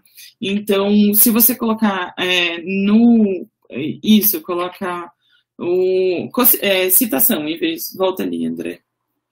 Citação, é, isso. Tá. Daí, e colocar autores, é, daí vai aparecer os autores de fato que estão lá no seu, é, no Web of Science que você puxou, né? Então, aqueles ali eram referências mesmo. É, esses aqui, isso, exatamente o que a Lona falou é um pouco difícil, assim, a pergunta do professor Rodrigo, porque o que ele quis dizer, se eu entendi bem, é assim, ó, cocitação e as referências mais cocitadas. Quando você vai fazer isso lá no final, ah, deixa eu ver aqui, deixa eu ajustar. Você pode ver, ele deu, deu 15 mil, né? E uh, ali o André... Isso, exatamente, ó são 15.879 é, referências citadas dentro daqueles 500, daqueles 579, né? Então as referências juntando deu essas 15 mil. Ah, eu tenho que pegar no mínimo 10, então eu achei 36 aqui que encaixam. Ah, vamos pegar 5, vai, para deixar um pouquinho maior. 191, vamos colocar nossa rede aqui com 100 nós. E aí o que ele está falando, Luana, é o seguinte, ó, esse cara aqui é o mais, deixa eu pegar pela citação, ele não está ordenando aqui. Ah, foi. Ó, como é que ele faz para achar essa... Quem que é esse documento aqui, tá vendo? Ó? Uhum. Alguns têm o DOI, tá vendo, professor? Ó, tem o DOI aqui. Uh, por isso que é bom, de repente, pegar essa, essa etapa e exportar esse negócio, exportar todas as referências para um arquivo de Excel. Né? Então. Vai devagar, André, você fez muito rápido isso. Dados pontos Então, o André clicou com o botão direito ali e tem uma opção de exportar isso aí, né, como uma tabela. É. é. Selecionados, né, aqui, ó, exportar todas as referências citadas. E aí eu consigo importar isso no Excel. Mas aqui, o jeito que a gente consegue ver é isso, ó. Né? Então, assim, alguns têm o DOI, aí fica fácil de eu saber quem que é. Outros não. Né? Então, eu vou ter que saber, assim, esse é, democratizando a inovação de Van Rippel, em 2005. Aí eu vou ter que, de alguma maneira, achar esse, esse documento. Eu, geralmente, eu sou do jeito mais, eu vou no Google... No Google, no Google Scholar, no Google, né? É, no Google Acadêmico e procuro eu... Van Rippel, 2000, 2005, Democratizando a Inovação. Aí eu vou achar o documento dele. Né? Se tiver o DOI, mais fácil, bem mais fácil, né? Então, mesma coisa aqui, esse Will Wright, 1992, revolucionando pró de alguma coisa. Eu vou e procuro isso e, vou, e acho, geralmente acho. Né? Aí você vai ver que, por exemplo, bom, vamos fazer. A pergunta da Rafaela, que vou, enquanto você coloca, é, nessa cocitação é possível identificar os, os, autores principais mais utilizados nesse assunto e os, e, e os que são utilizados para embasar os artigos. É isso mesmo, Rafaela. Por isso que ele, ela é importante e ela é bem interessante para você fazer a seleção de quais artigos você vai utilizar nas suas referências, né? Então, o estado da arte. Então, se dos meus 500 artigos, 579 que eu coloquei ali, é, das 15 mil referências que foram citadas, quais são esses 15 mil que são mais recorrentes? Então, qual é, são mais importantes, né? Então, facilita muito o trabalho. Como você disse, fazer na mão, eu também já fiz. Isso aqui já ajuda a gente, adianta o processo muito, muito fica muito mais rápido. Pode ir lá, André. Beleza? Então tá, professor, ó, esse Van Rippel 2005 democratizando a inovação. Aí eu vou no Google e procuro, né, Van Rippel democratizando a inovação. Achei aqui, tá 2005, 6, é, é um livro que foi citado por 11 mil pessoas. Então, é provavelmente é essa referência, né, pelo tanto de, de citações que ele tem aqui. Mas o processo é mais ou menos esse mesmo. Não tem, não sei se era essa a pergunta. É porque, porque pelo eu... Web of Science você não vai achar, porque a gente usou as referências deles, né? Ah, é. Não necessariamente tá, tá Não necessariamente o artigo vai estar tá na busca que você fez. Porque até esse exemplo é meio. Acabou de, acabamos de ver, né? Porque é um livro, né? Às vezes ele nem tá, nem tá lá, né? Uhum. Então, assim, o, o que às vezes dificulta, por exemplo, essa aqui é uma rede de cocitação de referências, né? Quais são as referências que são mais citadas? Então, eu tenho aqui ah, aquele da criação do conhecimento do Nonaki Takeuchi e tal. É, o que dá para aumentar um pouquinho, nesse caso, ele vem aqui, o máximo está como 30 caracteres, dá para você aumentar um pouco, para você tentar ver quais são essas referências, né? Mas, por exemplo, essa daqui tem o, a revista, o volume e, e o, a issue, né, o número. Então dá para buscar, né? Não é a coisa, não é automático, mas dá. Beleza? Deixa eu só fazer aquela questão, só para a gente encerrar o que estava aquela questão do nome, deixa eu voltar de novo na história do. Ah, da, dos nomes parecidos. É, cocitação, vou pegar os autores aqui de, mais cocitados. Vamos voltar aqui para 10. Deixo aqui.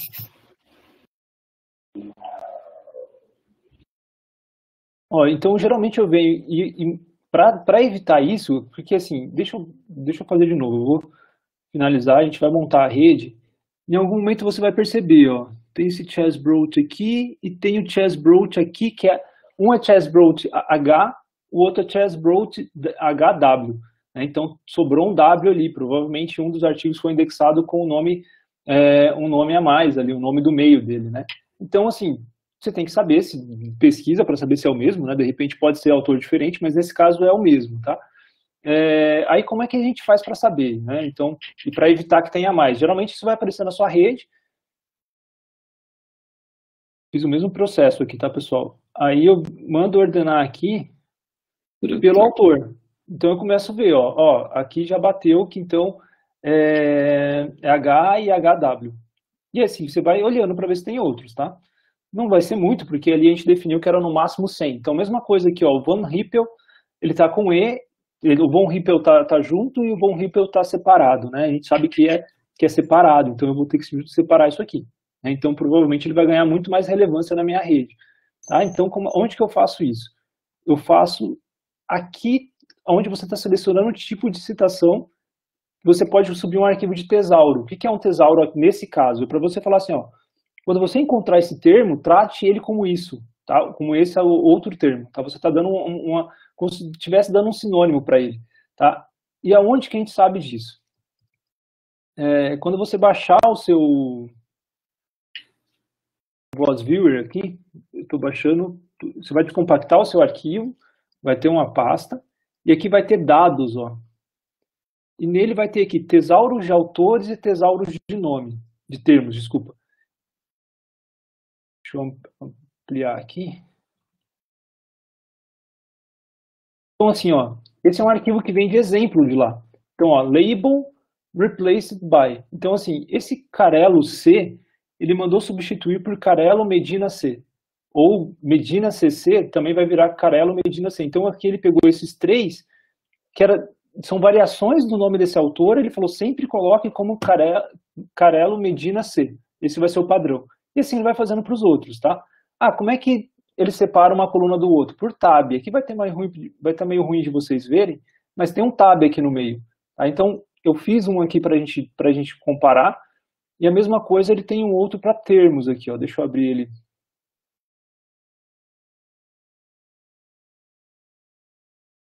Nesse caso, ó, aí ah, o copyright vai, subir, vai, vai, substituir pelo quê? Por nada. Ele não quer que copyright participe da, da, da análise dele né? Ou o Elsevier, aqui também ele pediu, ele deu um tab e colocou para nada. Ele simplesmente tirou essas palavras da, da análise dele. Então, ah, ele vai usar lá uma análise de concorrência de palavras.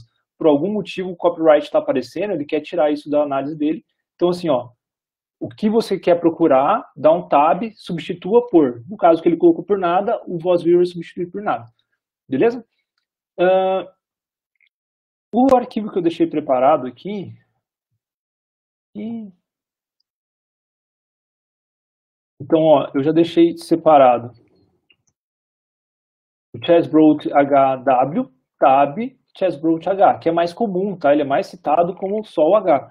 E esse Von Hippel eu separei o nome dele. Então, quando ele encontrar o Von Hippel junto, ele vai colocar por, ele vai colocar separado. Tá? Então aqui eu fiz só os dois casos que eu achei. E para a palavra-chave, um exemplo aqui, por exemplo, ah, então quando encontrar capacidade, substitui por capacidade. Tá? Só um exemplo. Ou firmas, coloca firme. Tá? Ou o contrário, tanto faz, vai, vai de acordo com você. Organizations, coloca organization. Tá? Então aqui, de novo, para eu juntar, para eu dar mais peso para a palavra organização. É um conceito só, então deixa eu juntar quando eu for fazer minha análise de palavra-chave. Tá? Então, é, e aí eu subo aqui o arquivo. Ó. Então eu vou procuro aquele meu arquivo aqui, que é o tesauro de autor. Dou um ok. E mando fazer a minha do mesmo jeito que estava. Então, ó, eu já não tenho mais aquele, ó, Von Hippel veio para terceiro aqui, e o Chessbrot já não tenho mais o H, o WH, né? Então,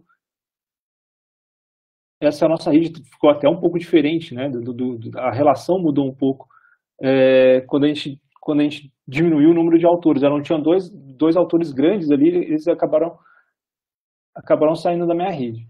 E você pode tentar mudar isso, né? Ah, eu não, não gostei muito dessa disposição e tal. Você pode mexer aqui na parte de layout, tá? Então, é, por exemplo, mexer nessa atração e nessa repulsa aqui.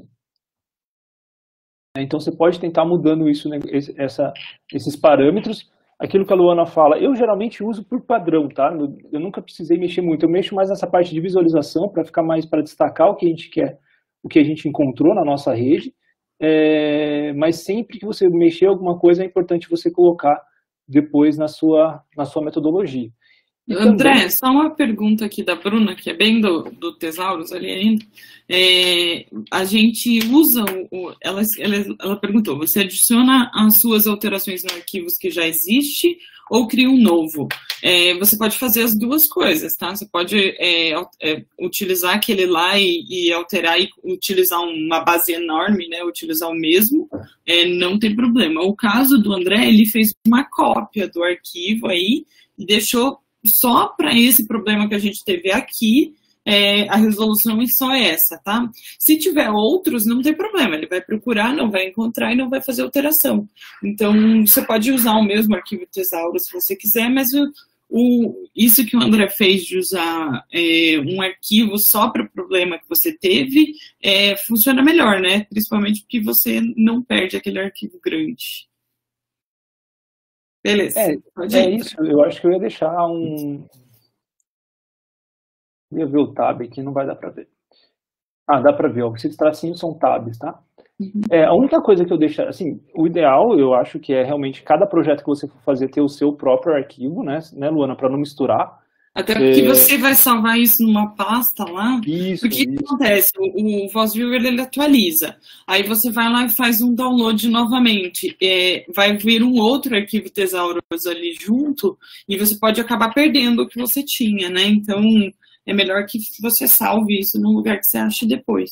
É, a única coisa que eu deixaria é esse label e replace by, que eu acho que é o que ele usa ali, né? Então, assim, uhum. eu deixaria essa primeira linha, aí o resto só seguir o padrão que você está procurando, tab, pelo que você quer substituir.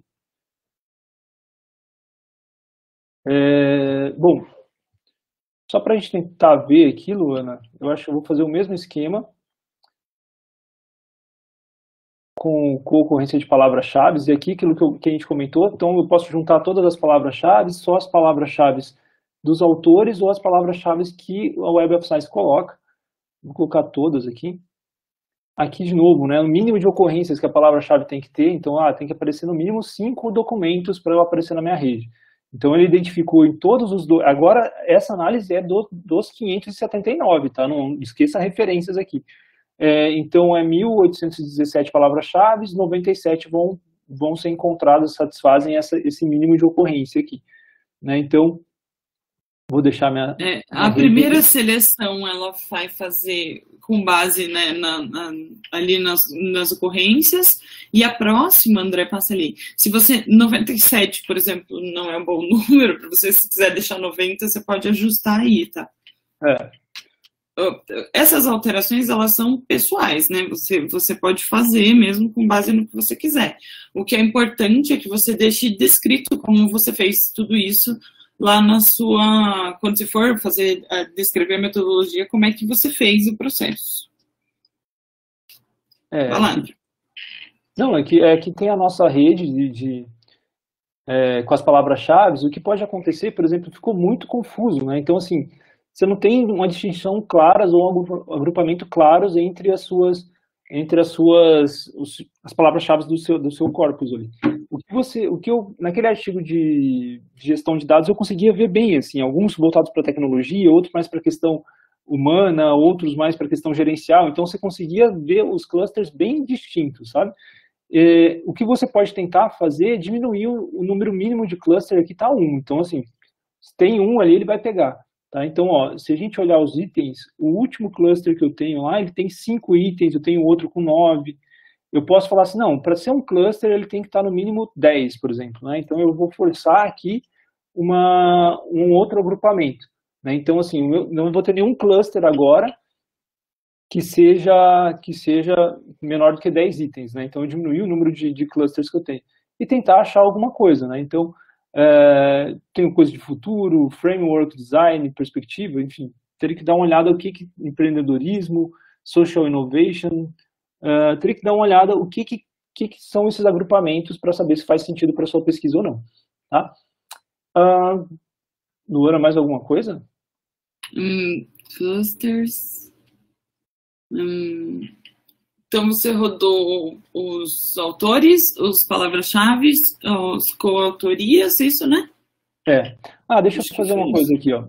Que é o seguinte, eu tenho aqui aquela outra ideia da gente pegar, por exemplo, de utilizando uma API, tá? Como é que vai funcionar?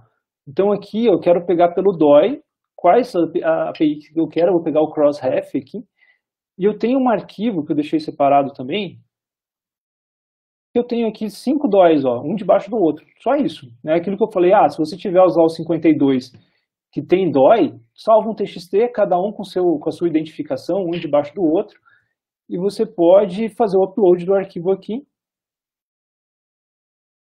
Ele vai acessar o Crossref para pegar as informações desses, ele vai pegar cada um desses documentos. Né? Então aqui ele já pegou quem são os autores, quem são é, os títulos, a, os, os periódicos, enfim, o ano, está tudo certinho aqui. Aí você consegue fazer a sua, a sua, as suas análises, tá? Então aqui ele até pega ó, as concitações. Né? Só que, de novo, eu estou com pouca... Eu não pegou ocorrência aqui, provavelmente porque talvez ele não tenha vindo as palavras-chave. Eu, não, eu não, não, costumo usar esse, esse, esse recurso, mas dá para a gente ver aqui, tá? O Guilherme perguntou se tem diferença usar o URL do DOI. Não Boa pergunta. Boa eu pergunta. acho que não. Eu acho que não. O software tem que tratar isso, né? Tem eu acho que, que ele vai buscar da mesma é. forma, né? Eu é, não, isso tanto faz. Tá, então, assim, eu não sei aqui, provavelmente vai dar muito pouco. Eu trouxe cinco documentos, né? Então, eu tá falando, ah, mínimo de citação é dois. Aí entra naquele caso que a gente falou, né? Então, eu tenho esse, esse autor aqui, que tem cinco citações e tal. Tem algumas coisas estranhas, ah, por que, que esse li ou esse risco você pode tirar? De novo, né? Ó, aí fica uma rede assim, tá? O que, que você faz com isso, né? Não tem muito... É, quando é... você tem números pequenos, vai ficar redes mais ou menos nesse sentido, então não isso, ajuda exatamente. muito. É, assim, por que, que a gente não utiliza, sabe? Porque sempre dá algum, não que dá um problema, os melhores resultados é exportando direto da, da, da Scopus e da Web of Science, assim, ou de outra base, no caso ali, se você quiser trabalhar com, com a PubMed e tal. Né? Então, assim, esse, essa parte da API é legal porque você faz aqui direto, você não precisa fazer todo o processo, de repente você não tem acesso a, a externo, né? de repente você não tem o acesso àquelas bases, você consegue fazer aqui. Mas sempre a quantidade de arquivos e a qualidade dos dados, vocês viram que aqui, nesse processo simples que eu tentei fazer, já achou um monte de consistência, né? Então, é, é, é importante, assim, a gente prefere fazer pelo Web of Science, que é o processo que é mais tem uma qualidade melhor nos dados. Tem uma pergunta da Denise Sonoda. Ah, que tal, André? Estamos cheios de perguntas aqui. Você de... responde essa, Luana. Eita, deixa eu ler primeiro. É, podemos retirar da análise de keywords os descritores utilizados na busca por meio de tesauros? Pode, você pode substituir ela por. É, você não fez da palavra-chave, eu acho, André. Peraí. Hum, deixa eu ver uma coisa aqui. Então, aqui. Lá em cima. Já está aqui os meus arquivos. Com ocorrência de palavras-chave, né? É isso? Isso. Tá. O que a gente pode fazer é só tirar aqui, ó. Ah, vamos finalizar ela para a gente ver. Então, vou tirar essas coisas aqui. E aí Então, você pode tirar, por exemplo, inovação, que É. você já, já é o tema do seu estudo, você não quer que ele esteja na rede, é possível. Então, o jeito que a gente faz, assim, dá para fazer pelo tesauro, ou simplesmente vem aqui e tira ele, ó. Desmarca aqui, sabe? Ele está selecionado. Ah, eu não quero innovation process, eu não quero innovation, innovation. Aí você finaliza, aí ele vai fazer a sua rede sem aquelas palavras. Né? Dá para tentar fazer com. Vamos tentar fazer pelo tesauro, vamos ver. Deixa eu só ver aqui. Até porque dá para substituir, né? Às vezes tem palavras é, escritas diferentes, como você disse. Então, Innovation eu dou um tab sem nada. Innovation Process. Do outro tab sem nada. Só vou colocar aqui. Salvei. Fazer o mesmo processo. Keywords. Ó, ela já não tá, nem aparece aqui já. Beleza? beleza.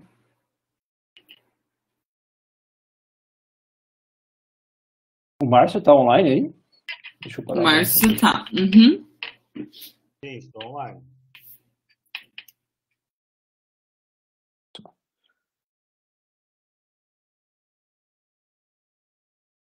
Ah, beleza. E aí, Teve- pessoal? Eu acho que já foi, né?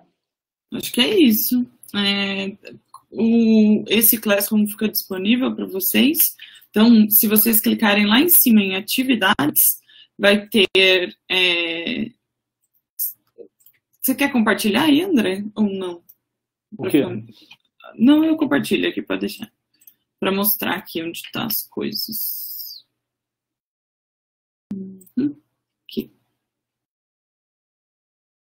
Então, quando vocês acessam, o de vocês é diferente, porque não vai aparecer aqui pessoas e notas, mas aqui tem é, informa... A gente pode conversar se vocês quiserem, mas aqui no atividades, ó. Atividades práticas, é, tá os arquivos que o André utilizou nessa, nessa oficina, então se vocês quiserem replicar com mesmos arquivos e não tiverem acesso à base de dados ou alguma coisa assim, tem aqui os arquivos, tá?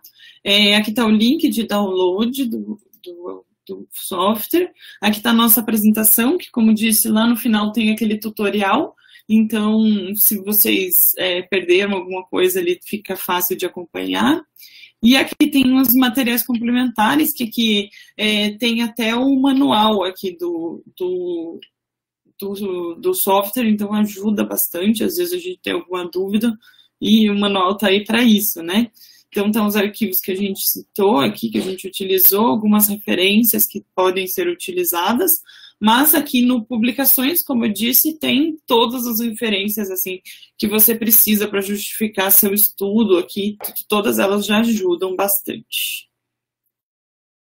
Luana, ali tem uma pergunta no Facebook, eu acho que dá pra gente fechar com ela. Deixa eu só.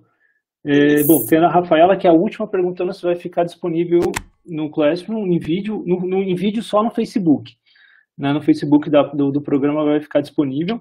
É, o Rodolfo está falando que ele ficou um pouco confuso em relação à autoria, coautoria, citação e cocitação.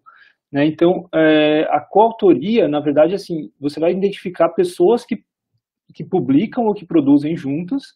Citação são dentro da sua, do seu, daqueles 579, quem são os mais citados, né? E o outro, a cocitação, ele vai pegar as referências desses 579, ou seja, as referências utilizadas, ou seja, você vai meio que extrapolar os 579, tá? Então, mas assim, como a Luana falou agora, na no, no, manual, além desses itens, ele fala exatamente como que a rede é montada, tem as fórmulas, isso a gente não quis trazer porque é, não é o caso assim, aqui. E tem, inclusive, por exemplo, ah, os tipos de análise. Você pode fracionar a contagem, por exemplo, para autoria. Né? Então, assim, um cara que, que é autor de um artigo sozinho e um outro que ele fez em três, é o mesmo peso? Aí você pode falar, não, eu quero fracionado. Então, assim, aí ele vai dar um peso menor para aquele autor que fez com coautoria, por exemplo, sabe? Então, tem algumas coisas que você pode mexer ali na interface, mas, assim, a ideia, é, o software é fácil, dá uma olhada e, e, e na, na, documentação que também é bem tranquilo, assim, né, Luana? Uhum. E, e o, o, manual aqui ajuda muito mesmo, assim, né? Como, como o que, que é essa densidade, né? Então tem tudo aqui, é, ajuda bastante, assim, é bem completo o manual deles, assim. Estamos recebendo muitos parabéns, André. Ah, obrigado. Acho que foi sucesso. As pessoas são muito bondosas. ai, ai. Que bom que vocês bom, gostaram. É, espero que usem, assim, espero que. Porque realmente, quando a gente começa a usar, é, é meio viciante, assim, até, né? Porque facilita tanto o processo que ajuda bastante a gente utilizar mais vezes, enfim. Fechou. Então, Luana, na, na, apresentação tem nossos contatos, ou no Classroom também, se vocês mandarem alguma coisa, a gente vai estar lá, né, Luana? Exatamente. Fechou. Pessoal, muito obrigado pela atenção de vocês, acordaram cedo, então, aguentaram quase duas horas. Muito obrigado. Eu, o Márcio mandou é. a lista, segunda palavra-chave, mapa Luana, do... Oi. Escutam? Sim, Sim, professora. Olha só, é, nós estamos abrindo a, a, o evento na outra sala, é, convido quem quiser ainda fazer pergunta, pode, vocês podem responder as perguntas, tá, Márcio? E, e aí, é, quem vai fazer a outra oficina é, se dirige ao outro link. O e-mail foi é, enviado agora, ok? Ótimo. Obrigada, Luana. E, e, Já estamos acabando aqui também, Maria do Carmo. Tá, mas podem ficar tranquilo para responder as perguntas com calma e sanar as dúvidas de todo mundo, ok? Ok, Márcio? Obrigada. Ok, professora. Márcio, estão perguntando as palavras-chave, Sani. Ah, já foi mapa então, mental, olha. A ah, segunda. Já postei, eu já postei as, as palavras-chave tanto aqui na, na RNT como no Facebook, né? Postei novamente o link para, para responder, né? Para o questionário. Lembrando que esse questionário vai ficar disponível por 24 horas. E essa apresentação do André e da Luana, que estará disponível na nossa página do Facebook, né, quem quiser rever, assistir de novo, ficou com alguma dúvida ou tentar refazer o passo a passo, essa gravação fica disponível no Facebook, ok? Mas qual é a primeira palavra-chave? Estão perguntando aqui. Opa, vamos se relembrar aqui. A primeira palavra-chave é visualização. Ela está ah, postada ah, no. Sempre está postada ah, tá nos comentários, tanto no Fechou. Face como aqui. Dá uma rolada Ótimo. lá no. Ok? É que aqui ficou grande, o pessoal participou bastante. Aliás, obrigada, pessoal, por participar. Ajuda bastante a facilitar aí a oficina. É. Valeu, Márcio. Obrigado, abraço. Então, sem mais perguntas, encerramos por aqui. Agradeço a presença de todos, né? E aproveitem que essa o CEDIP né, acontece até sexta-feira. É, as outras oficinas, outras palestras estão disponíveis no nosso site, quem quiser conferir.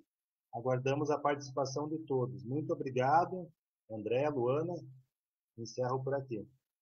Valeu, Márcio. Até mais. Valeu, um abraço.